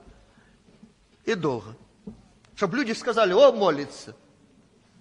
Как долго, и как хорошо и так далее. Э, Если бы это в практике жизни не встречалось бы, то, может, не стоило бы и говорить. Я помню, однажды, это было давно тоже, одна сестра, помню даже, где мы были в собрании, в Дермановых, там около кладбища, и она так ущербно молилась. На ответ. Вы знаете, что такое молиться на ответ? Когда есть сосуды, и Бог не говорил. С чем говорил, а ей нет. Я пришел домой, Бог говорит, ты говорит, знаешь, почему я ей не ответил? Она говорит, хотела, чтобы я ей ответил, и через это в глазах людей быть особым человеком, с которым разговаривает Бог. Это же- Потом я не ответил. А уже так ущербно старалась. Ну, думаю, ну, ну почему Бог не отвечает? Оказывается, иногда люди хотят э, за счет Бога, э, так сказать, э, пробиться у людей. Ну, громко, я тоже горлатый, громко молюсь. Да. Ну, здесь вопрос стоит, знаете, что есть люди, которые так научены. Просто надо учить людей. Потому что если один кричит, а другому это тягость радость, ему ничего не слышит, то э, той радости не получает тот, кто молится, кто рядом стоит. Но с другой стороны, одна сестра говорила так, если я не покричу, то у меня веры нет, что Бог услышал. Ну тогда как ты ей запретишь кричать? Ну, даже отнять ее веру. Да просто надо учить, чтобы не кричала. Ну да. Но когда они рождаются тридцатилетиями, вот тогда как понять? Все рождается, да рождается каждый день. Вот тут уже не поймешь такого рождения. Такие затянувшиеся роды. Такого не бывает, наверное. Ну, да это уже просто, знаете, элемент культуры христианской, норма поведения какая-то. Потому Павел э, довольно часто и учил. Помните, Карельф учил, как надо, как надо пророчествовать, как надо молиться. То есть некий порядок хотел, чтобы был. Естественно, что оно не может быть так уже четко все расставлено. кто-то возвысил голос, кто-то ну, нож, не должны на выпередке кричать. Кто кого? Ну, тот возвысил, но ты немножко потише, а то он громче, а я еще громче, он громче, а я еще громче. Остальные не знают, что делать, что у них такое происходит там. Но бывает же такое. Поэтому молитвы шумные, они обычно бывают громогласные. Ну, конечно, на виск переходить-то ненормально. Ну, вы же понимаете, что иногда часто так, что аж визжат. Ну, это ненормально. Должен быть четкий язык, конкретный, громкий. Это не значит, что должны шепотом. Вот. Но, тем не менее, есть какой-то порядок. Но все дело в том, как во всяком обществе есть люди разных взглядов, разного характера, разного темперамента. Просто иногда нужно уметь сносить друг друга. И где-то поговорить, подсказать и так далее, чтобы было хорошо все. Горы вам, книжники и фарисеи, лицемеры, что обходите море и сушу, дабы обратить хотя одного. И когда это случится, делаете его сыном гиены вдвое худшим вас. Оказывается, и такое может быть когда работают, трудятся, обходят море и сушу, а после что? А учат не тому, чему надо. Просто обманут людей, что все нормально. Все-таки, это же верующие люди, призывают к спасению, а Библия прямо говорит. Это не просто, допустим, мы где-то из опыта просмотрели, увидели и рассказали. Так написано. Обходите море и сушу, чтобы обратить хотя бы одного из них, это значит, надо работу великую проделать. А когда обратите, то что делаете? Сыном гиены вдвое худшим вас. Пожалуйста. И если бы это не случалось в жизни, наверное, здесь не было бы отмечено. Но такое бывает, такое и есть. Такое и есть. Горе вам, вожди слепые, которые говорите, если кто поклянется храмом, то ничего, а если поклянется золотом храма, то повинен безумные и слепые. Что больше, золото или храмы, освящающие золото? Смещены ценности. То есть земное стало на первом месте. И так, и относились эти книжники к этим материальным ценностям к храму. Самое было для них дорогое, а это материальное. И они так и учили. Горе вам, ваши себе, которые говорите, что они так учили.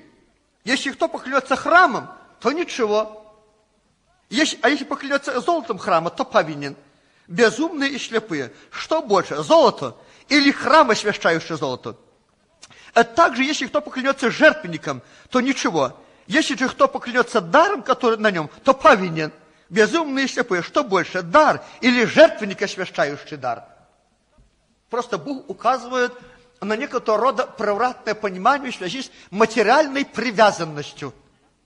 И это настолько важно, что вот эта привязанность к материальному, к земному, она делает превратным разум. И люди так учат.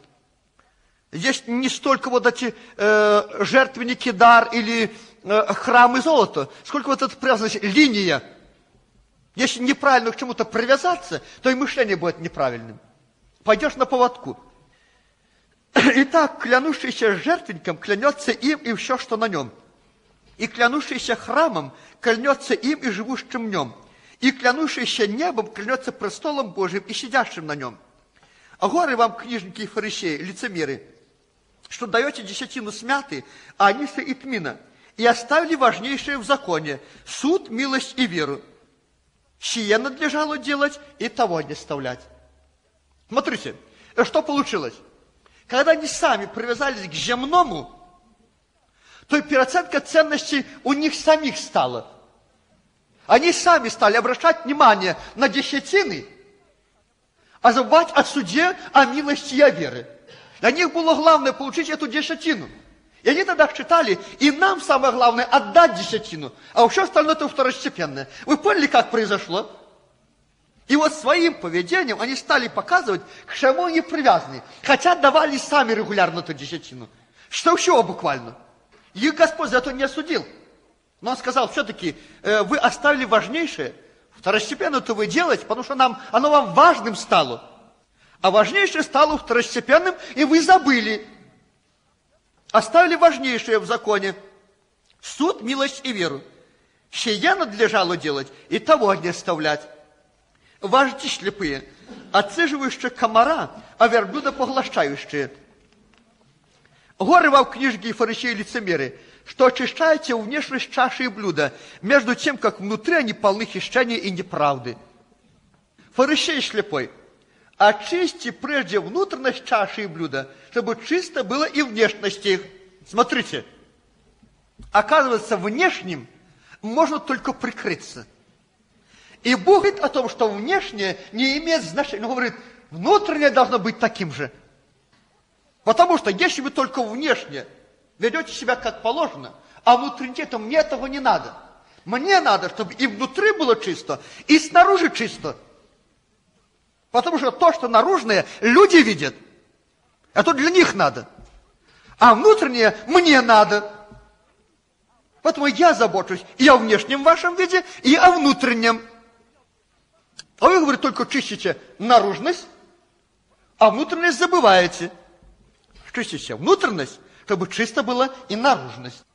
Чтобы, как вас увидели аккуратными снаружи, чтобы такими же аккуратными были и внутри. Потому что если вы считаете только наружное служение, а внутри совсем не то, что вы показываете, тогда нет пользы никакой. Это просто обман будет. Горе вам, книжники и фарисеи, лицемеры, что уподобляете окрашенным гробам, которые снаружи кажутся красивыми, а внутри полны костей мертвых и всякой нечистоты.